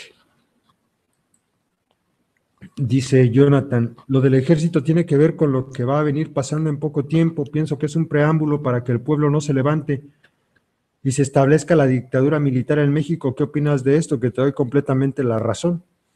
Estos años que vienen son los años del despojo y necesitan al ejército en las calles porque eh, obviamente que la gente va a saltar de su sillón cuando les quieran quitar sus casas, sus tierras. La única forma de contener todo eso es con sus pinches sardos en las calles previo eh, la siembra de terror que ellos han impuesto desde hace ya muchos años en México. Entonces, ante el terror, la gente aterrada y con los soldados en las calles y con los supuestos cárteles afuera, sus grupos paramilitares, pues la gente no se mueve. Claro que sí, esa es la dictadura militar. Dice, ¿qué opinas sobre la noticia de Mireles que supuestamente va a incorporarse al gobierno de Jaime Rodríguez, el Bronco de Nuevo León? No sabía nada, que pues, ¿Qué opino? Que qué vergüenza de los dos. Perdón, pero qué vergüenza. Ay, no. Qué pobre Nuevo León. dice, con una disculpa, Ricardo Azazael, pero ya compartí la información que publicaste de Catastroica. Sí, para eso. Dice Jonathan Jiménez, a México le va a ir peor que a Grecia porque lo que estos ojetes que están mal gobernando pretenden esto, privatizar todo. Por cierto, Aris, sobre esto, ¿cuál es tu reflexión de lo que será la privatización del IMSS? Miren, es lo mismo, insisto, vean Catastroica. Es una de las técnicas, de los métodos utilizados para justificar la privatización. Lo que sí es cierto, el servicio de salud en, en México es bien deficiente, pero muchas de las veces, muchas de las veces, no es ni siquiera, la gran mayoría de las veces, no es ni siquiera culpa de los médicos. Es como, eh, es igual que seguir criticando a los maestros por la mala educación en México. No, no mames, no tienen herramientas. Entonces, en este momento, la campaña de desprestigio contra el IMSS va a ser brutal, cabrón. Brutal, brutal, brutal. Así de claro, ¿no? Hace unos días publiqué un video donde se decía, donde decía que se legisló en relación a que iba a ser penado permitir que una mujer diera a luz en las instalaciones de un hospital o que se le negara la atención médica. A mí me parece excelente, pero también hay que entender que si tú estás en un hospital, eres médico y tienes todas las camas completas y todos tus pacientes merecen pues el mismo respeto y tienen la misma necesidad de salud que el que está llegando, pues no puedes escoger como médico este sí, este no, o quita este de ahí para que suba la señora. No puedes, güey. No puedes, ¿no? O sea, no puedes convertirte en Dios en ese momento y decir, ah, pues este sí, para que entre la señora. Órale, sáquelo. Al fin y al cabo, nomás es la vesícula. O sea, no puedes hacer eso. La embestida que se viene contra el IMSS es en ese sentido estuvieron publicando mucho en relación a, este niño al que, perdió un ojo por negligencia médica. Ese tipo de noticias van a empezar a aparecer, ¿eh? mucho, mucho, mucho. Todo para justificar la privatización del IMSS. Como si privatizar salvara de algo el sistema de salud de un país. Eso no es cierto. Nada privado, o sea, nada que se privatice va a funcionar mejor. Eso no es cierto. No lo, no lo crean. Bueno, y en México es más que obvio. A ver, vámonos a las privatizaciones. Está todo privatizado. Teléfonos de México tiene años privatizado. ¿Es el mejor servicio de telefonía de América? Claro que no. El más barato, no. ¿Tu internet es bueno? No. ¿En qué te benefició? En nada. Los ferrocarriles, en nada. Las carreteras, no. O sea, nada, ninguna privatización en México funciona, ni en el mundo, ninguna. Y así dime cualquiera, todas las los bancos, no mames, ya rescatamos carreteras, ya rescatamos bancos, todo. A ver, la privatización en, la, televisión, lo que era Imevisión, ¿funcionó? ¿Sirvió de algo? Sí, para enriquecer a Ricardo Salinas, ¿no? Pero ¿a poco los contenidos en, lo que era Imevisión, ahora TV Azteca, son de calidad, este, funciona chingona la televisión, es abierta, plural? No. Eso van a hacer con el INSS. O sea, va a ser una campaña brutal de decir, privatizando va a mejorar. Miren, está pésima la, seguridad social. El seguro no sirve. Miren, miren los pinches edificios. ¿Ya vieron, ya vieron cómo está el piso? Y van a sacar la fotografía de la enfermera floja, que pues también la hay, ahí durmiendo, ¿no? Y van a sacar la fotografía del, del doctor que se esté picando la nariz. Pues claro, de eso hay en todos lados, ¿no? Y eso van a hacer, por supuesto que lo van a hacer. Es muy grave lo del IMSS. Ándenle, cabrones. Cuidado con lo del IMSS. Pues que son narcos ambos y solo se están cubriendo, dice el México Libre, de independiente, pero si se une Mireles, pues ya sabemos, habrá acá más brote de grupos de mafia. O este quiere protector a un comunitario, pues que sigue entonces. Ay, con San Mireles. Dice Draco, el año pasado me iba a someter a una cirugía en un hospital privado, casi me operaban fuera de la hora que marqué con el doctor, suerte que no iba solo. pues sí, es que no, de verdad que lo privado no, no necesariamente es mejor. Dice, no, yo te puedo decir que sí vas a poder darnos mínimo una vez cada 15 días, nomás no te rías tanto que eso sí está muy difícil, pero creo que sí podrás y te hará sentir súper bien. Ponnos más, la ponnos más laminillas para leer o algo así, niño. Pues a ver, dependiendo de cómo me sienta él. Es que duele, doctora. De verdad duele.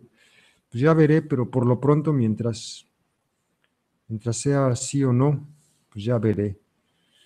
Dice Vegas Lut, hola men, saludos a todos desde Argentina. Interesante esto de Grecia, el famoso derrame, le dejan lo que está derramando, lo demás se lo llevan acá. En Argentina ya lo vivimos igual que México y América Latina, dan asco, el pueblo firme siempre. Así es Vegas Slot, sí, pues a ustedes les pasó lo mismo en el corralito, ¿no? Y terrible. Ahora, yo vi una diferencia grande. ¿Cómo se nota a un pueblo al que, a un pueblo eh, educado para resistir, no para resistir, para someterse. O sea, con una resignación tan grande, en Argentina cuando salió, se dio lo del corralito, pues sí se veía en, en, las calles la gente desesperada y hubo, pues hubo pleitos y todo este desmadre. En Grecia no. O sea, no ha habido, apenas ayer, anteayer, perdón, en el último día antes del referéndum, por ahí detuvieron a dos o tres que se estaban peleando entre los del sí y los del no, pero una tranquilidad. Era no tranquilidad, era más bien una resignación. Es muy triste, ¿eh? No, Zuko, quedamos en que no. No, lo siento, aquí no puedes venir. Vete para allá. Vete para allá. No te quiero aquí. No, tú y yo estamos enojados. Perdón, les digo que traigo pleito casado con Zuko. Dice Andrés Bernal, ahora eres sociólogo o politólogo. No, Andrés Bernal. Ninguna de las dos. BRB. Ojalá los mexicanos nos hubieran dado el chance, como ahora a los griegos, de decidir cómo administrar nuestra austeridad. Se nota que el gobierno de México se vendió a los grandes grupos financieros mucho antes de que empezara la crisis de la deuda. Pues sí. Sí, sí, sí. y todos los gobiernos han hecho lo mismo. Y cada vez es peor. Usa el oquendo, compa, bueno, estaría chido en lo que te recuperas. Pues a ver. Voy a seguir haciendo videos, eso sí, si se entienden más o menos, aunque hable de todo así dolorido. Dice Loquitas, lo del IMSS o la salud en general va a ser como el documental. Eh, sí, con la salud en Estados Unidos, sí, más o menos. Dice Tribulus, hola, un saludo desde acá. También vean el documental, dice Andrés González, Crisis Europea. Eh, Mike BN, Aris, ¿qué te pasó? Cuídate, que te alivies pronto. Dios te bendice. Gracias, compa. Dice Tribulus, eh, por lo del ejército, pues aún así creo que no todos van a tener miedo, aún así se van a ir en contra del ejército y de los paramilitares llamados cárteles del narco. Ejemplo, ahí está con el posible resurgimiento de las autodefensas en Michoacán. Sí, carajo. Dice Jonathan Jiménez, ¿y crees que sí se puede hacer lo de la transmisión online con las demás personas? Sí se puede, nada más es cosa de que me digan, yo los desde aquí, yo les mando una invitación y ustedes entran, como invité el otro día que estuvo compa Gavito y estuvo aquí Omar, así, y ustedes hablan, yo le pongo mute y ustedes hablan. Eso se puede hacer, es como el Skype, más o menos, y lo transmitimos aquí.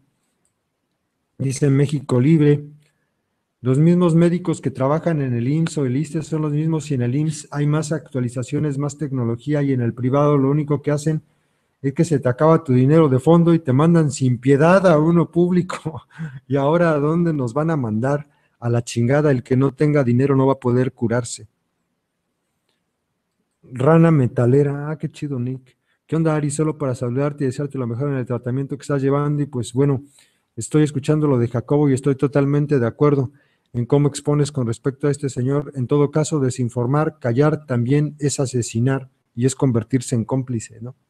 Así es, estoy de acuerdo, rana metalera. Draco, saludos. Dice, el síndrome de Estocolmo ocasiona si una persona que es líder le cree en todo lo que dice. Así es, dice. ¿Qué documental hablas de la privatización? El, el que decía yo, diablo, es catastroica, así como suena, catastroica dice México Libre, no fue que Ucrania no quiso seguir siendo parte de Rusia y de ahí se hizo el problema y la pelea era por Ucrania, hay mucho petróleo. No.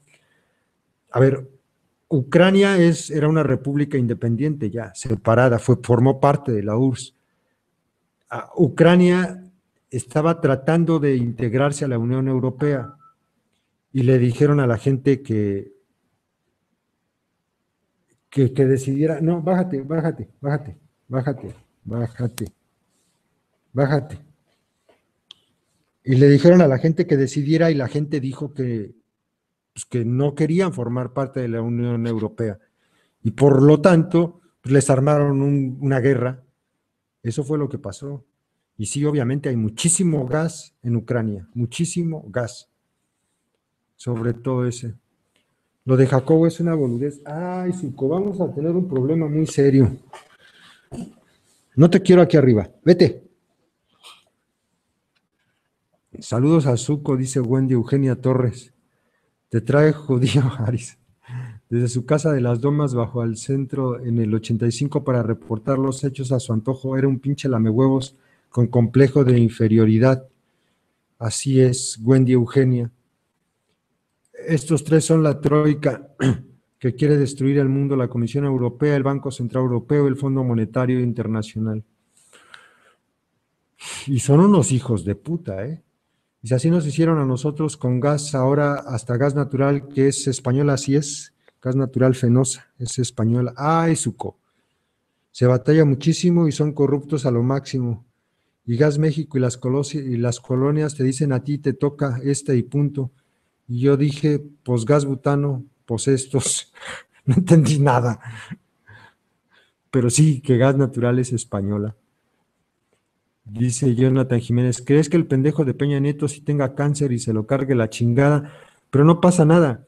De hecho, a ver, nos debe quedar algo bien claro. Enrique Peña Nieto no gobierna México.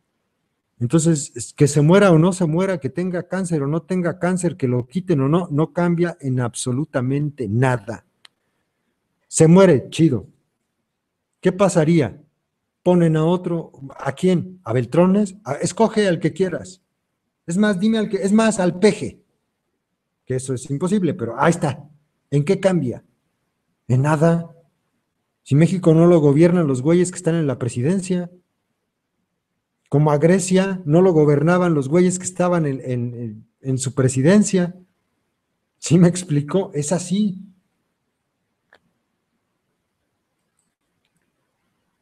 Dice Juan Carlos Espinosa. Desafortunadamente en México la gente no tiene el nivel educativo que se tiene en Grecia para darse cuenta que prácticamente nos sucede lo mismo que está pasando con el pueblo griego. Yo creo que no es cuestión de nivel educativo, a mí me parece que más bien es eh, la mala información que hay en México. Eh, en México no hay gente pendeja, yo insisto, hay gente muy, muy desinformada. Cualquiera, o sea, cualquiera le explicas... Eh, que la manzana es roja y después le enseñas la manzana y le preguntas si es roja y te dice que sí, no, ay, suco, bájate, no te quiero, aquí. No, es que si les dijera lo que hizo en mi sillón, por eso no la quiero aquí, hasta que aprenda. Ya la, dale de comer, si come más que yo la cabrona. Lo de Grecia va a afectar a mi país, Argentina. No. Au, ¿cuánto lleva el programa? Ya casi vamos a acabar. Dice mm, Wendy Eugenia, es normal, es un judío sionista, pero además mexicano, parte del sistema, no tenía que inventar nada. Si hubiera tenido escrúpulos, les pinta sus cremas en cadena nacional y expone el aparato que tienen a los corruptos en el poder, pero no lo hizo. No lo hizo y siguió viviendo bien contento de ello, ¿no? Ese es el problema y lo ven como héroe. Eh, dice Wendy, dice, ¿no será su forma de meternos miedo? Es decir, que sepamos que es la cuna de la civilización Grecia y no, y, no se le respeta como miembro de la Unión Europea. ¿Qué se espera del resto del mundo con estos culeros? Pues también, o sea, de hecho ayer alguien lo comentó eso en la plática que tuvimos.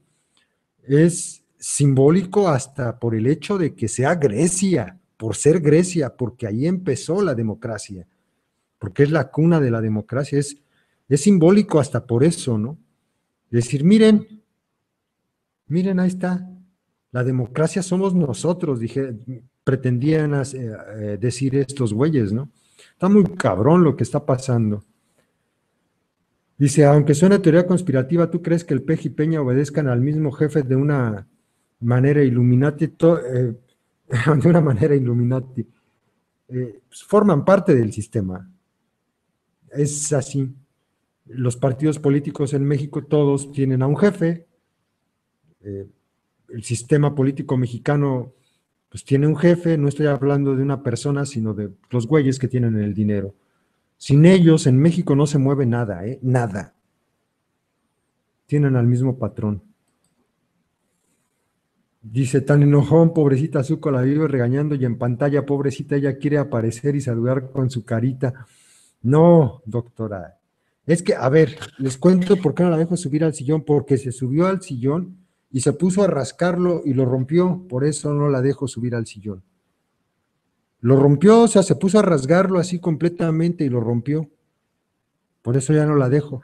Además, no soy egoísta, tiene toda la casa para andar, menos el sillón. Aquí es el único lugar donde no la dejo subirse. Bueno, ni a mi cama ya también se la prohibí. Y ya, todo lo demás puede andar, no le digo nada.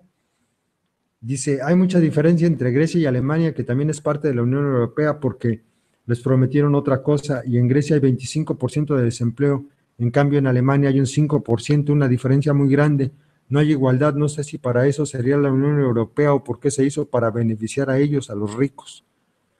Pero sí, o sea, en Europa hay países muy desiguales. Se supone que, era para lograr la igualdad en todos estos países y que eh, fuera exactamente lo mismo vivir en Alemania que en, que en Grecia o en Portugal. Y mira, eso no es cierto, los países del sur están jodidísimos, jodidos así. Pues ahí está el ejemplo, Grecia, Portugal, aquí mismo en España.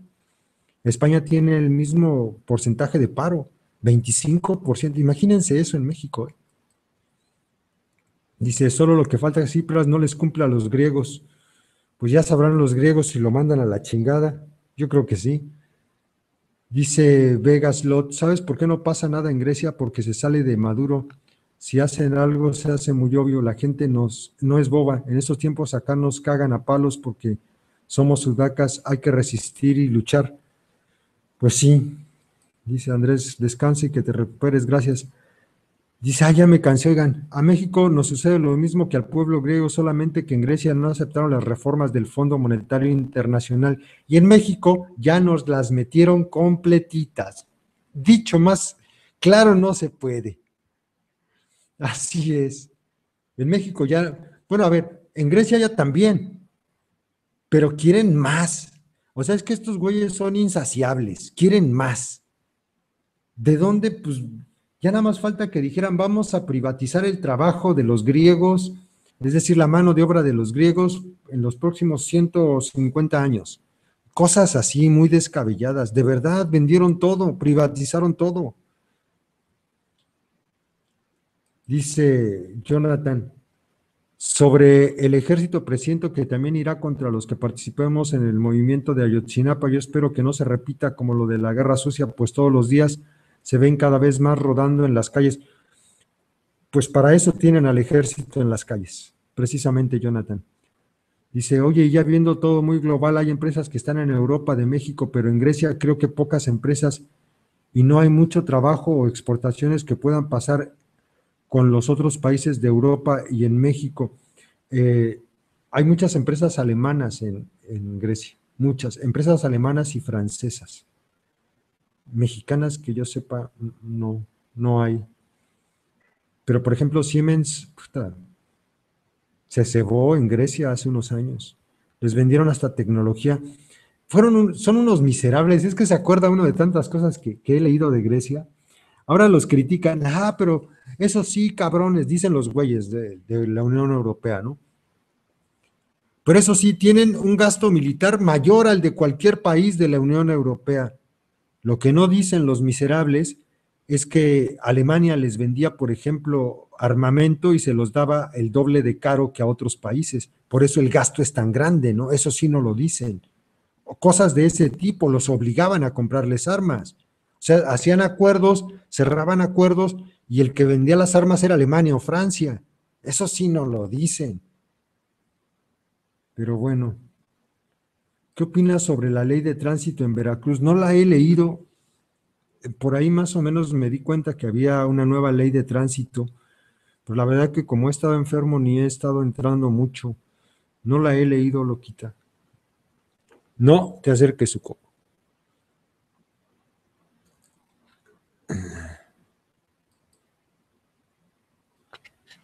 Namaste, hermano Aris, me metí a meditación porque la dermatitis me la hice por estrés.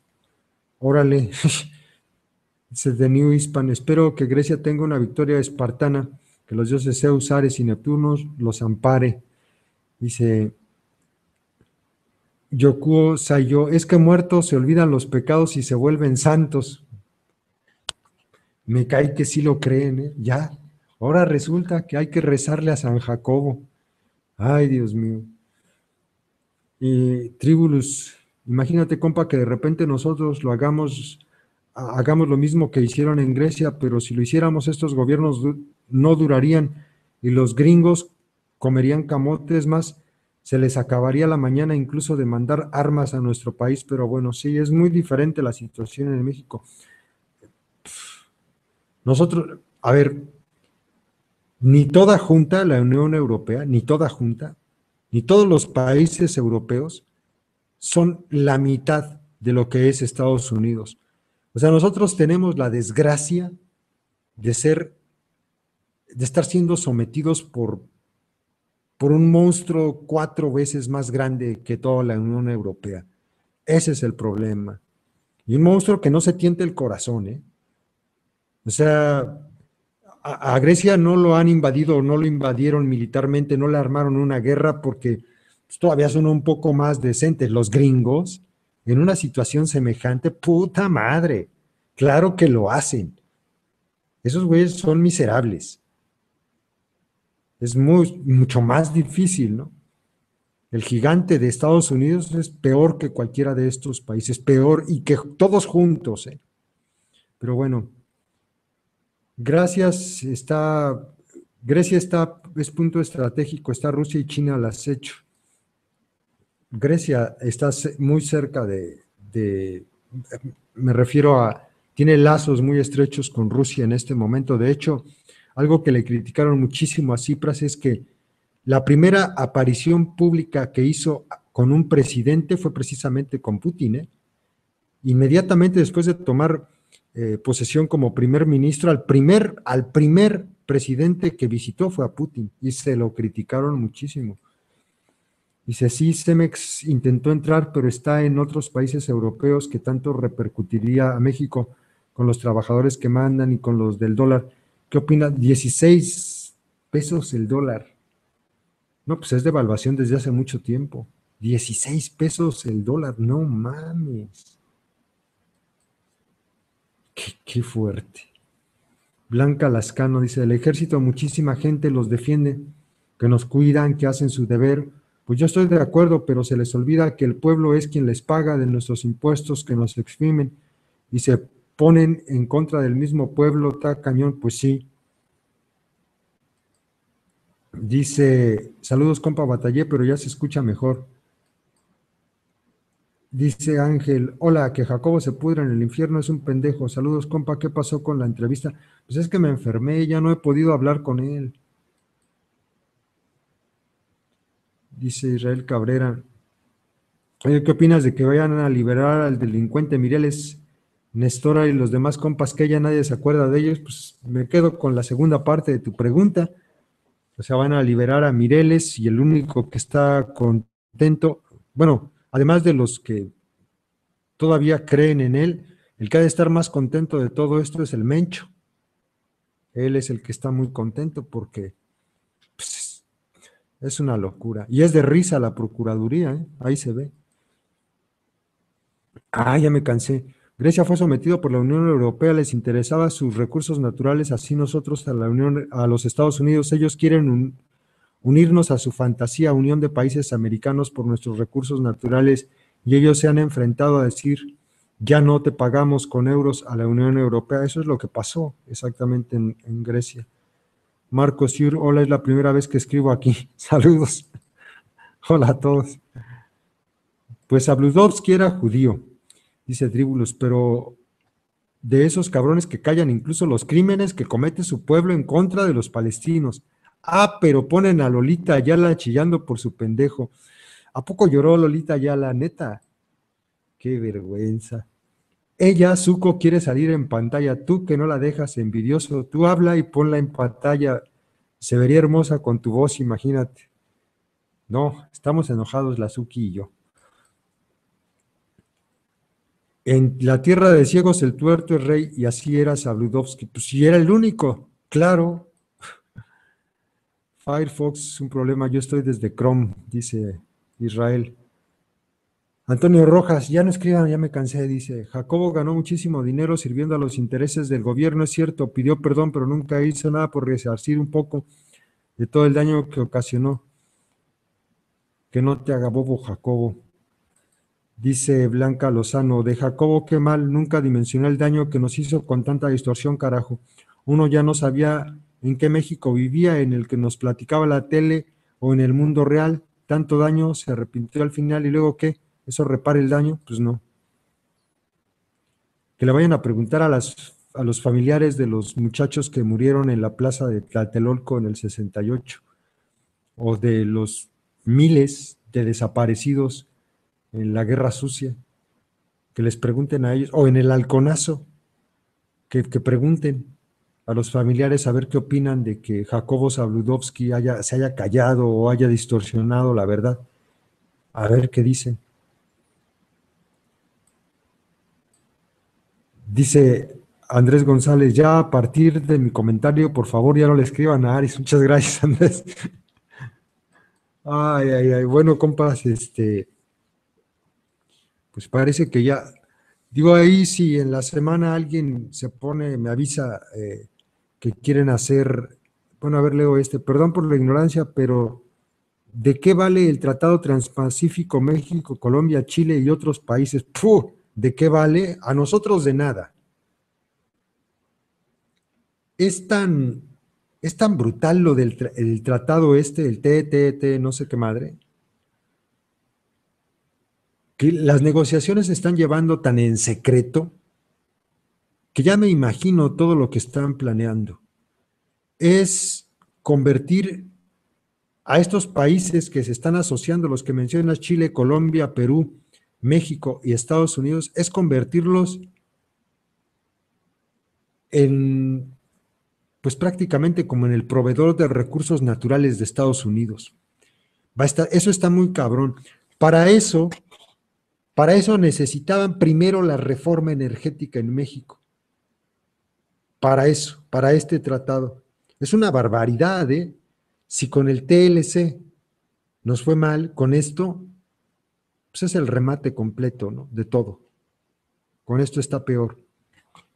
Pero incluye incluso pues cosas tan descabelladas como la utilización, por ejemplo, del agua, ¿no? Está muy cabrón, ¿eh? Dice Andrés otra vez, ¿será que Juan de Rito en su lecho de muerte también pida perdón por ser palero? ¿Qué van a pedir perdón? Juan de Rito tampoco. ¿Cuál es el deber real de un periodista? Pues lo que a mí me gusta mucho la forma en que hace las cosas. Eh, a ver, por ejemplo, por no hablarles de, de Ariste. Es que, a ver, el periodista es el que tiene que estar incomodando al pinche gobierno. Es una forma de controlar al poder, el periodismo. No que el poder controle al periodismo, es una forma de, de hacerles saber a estos ojetes que se les observa y que se les va a denunciar. Ese es uno de, las, de los deberes del periodista. Pero cuando quien te paga es el gobierno, pues se chingó el asunto. Por eso tienen que ser independientes, ¿no? Pues imagínense qué independencia puede tener López Dóriga o pudo haber tenido Sabludovsky trabajando en Televisa, pues ninguna. ¿Qué decías, Cárraga Milmo? Yo soy un soldado del PRI, puta, se chingó el asunto. ¿Con quién trabajaba Jacobo? Pues con Azcárraga. Entonces, ¿ustedes creen que en algún momento Jacobo, algún, en algún momento podía haber sacado la realidad de México en su noticiero, pues nunca. Entonces, ¿qué era lo que veía la gente? Pues fantasías. ¿Qué, ¿Cuáles eran las noticias? Pues bobadas. Y la verdad de México, pues no, nada. Gracias, Draco. Dice, el, no, el, no es entregar, entregar el país a los gringos, pues todo. El TISA está peor que el...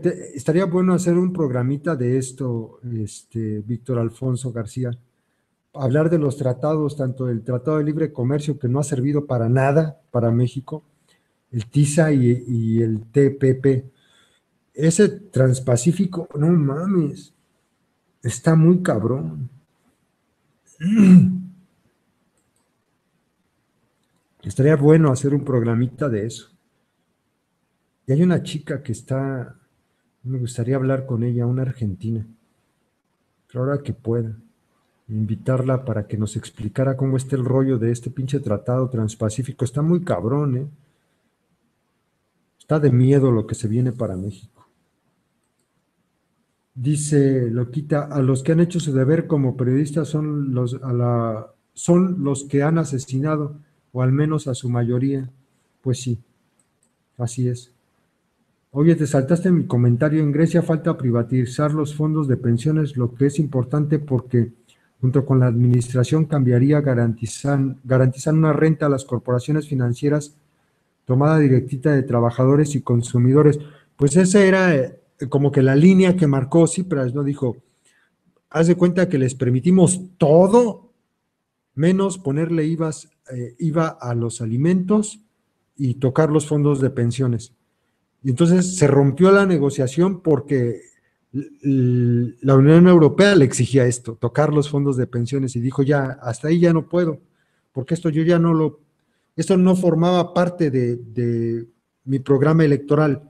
Es decir, yo no me presenté a las votaciones, a las elecciones, diciéndole a la gente que iba a haber recorte en sus pensiones. Por eso les voy a preguntar. Ese fue el punto de quiebre, justamente. Dice, ¿qué opinas de Gilberto Lozano y la Organización de Células Ciudadanas para estar, para parar este desmadre que Gilberto Lozano, el día que, eh, que cuando Gilberto Lozano trabajó para Coparmex, seguramente no pensaba así. Lo que quiero decir es que no le creo. O sea, alguien que trabajó en Coparmex, que trabajó con Fox, que que trabajó como presidente o no sé qué madre de un equipo como el TEC de Monterrey o algo así, no, no le crean. Yo la verdad es que me da risa cuando lo escucho, la neta. Ahora resulta que la burguesía quiere organizar células. Chido. Dice Blanca Lozano, Ingao, recuerdo que de niña mis tías hacían paro de labores para ver a Saludowski, para saber la realidad de lo que pasaba en México. Lástima ¿Cuántas de ellas fallecieron sin saber de la injusticia y tanta barbaridad que tiene décadas sucediendo? Dice, ¿cuándo los mexicanos defenderemos tanto abuso de los políticos como lo están haciendo en Grecia? Cuando conozcamos el significado de la palabra dignidad. Mil gracias por todo lo que diste de información y sí estaría bueno un programa de eso porque ya no sabemos cómo vamos a quedar en un año, si estaremos vivos o sobrevivimos, porque vivir no creo. Ay, eso de lo del IVA del 16% en la comida rápida, qué poca madre, ¿no? Un madrazo a la economía del jodido. Por ahí me echaron pleito porque hice el video. No, pero es que solo para las este, tiendas de, ¿cómo se llaman? Tiendas de conveniencia y ahí no venden tacos. No, güey. Se nota que no conocen las tiendas de Guadalajara o las de Michoacán. Allá hay hasta tamales y tacos, allá hay de todo. Es un madrazo para la gente jodida, nuevamente. Igual, la política y el periodismo oficiales solamente están para validar las medidas implementadas por los poderosos, así es. Dice Vega Slot, es verdad, Ari, sobre el periodismo ahora, para informarte, eh, tienes que leer todos los periódicos y sacar conclusiones. Si vos ves periodistas que eran serios, supuestamente escriben cada huevada, pues sí, por eso que cada quien saque sus, propias conclusiones pero definitivamente casarse con un, un, un solo periodista, como ocurría en México con Sabludovsky, o sea que la información te la diera un solo güey, sigue pasando, ¿no? López Dóriga, ¿cuántas personas no ven a López Dóriga en las noches todos los días? ¿Cuántas? Ese es el pinche problema. O sea, si hubiera alguien que diera la otra parte de la información en México, está bien, si yo no es que no quiera que López Dóriga dé noticias, pero me gustaría que estuviera varios cabrones hablando de las otras cosas que él no dice. Eso sí estaría chido y que cada quien saque sus conclusiones. Eso sí estaría chingón. Dicen, y cuando trabajó en FEMSA dicen que menospreciaba a las personas. Por ahí, se dice que con el Bronco lo va a poner en su equipo al Gilberto Lozano. ¿De verdad?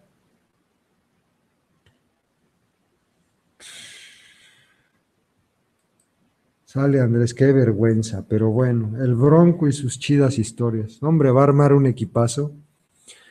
Bueno, compas, pues ya me voy ahora sí ya, este, ahí estamos pendientes, ahí platicamos en la semana y a ver qué hace, qué logramos armar para que no se pierda el espacio de las transmisiones el próximo fin de semana, a ver si hacemos una.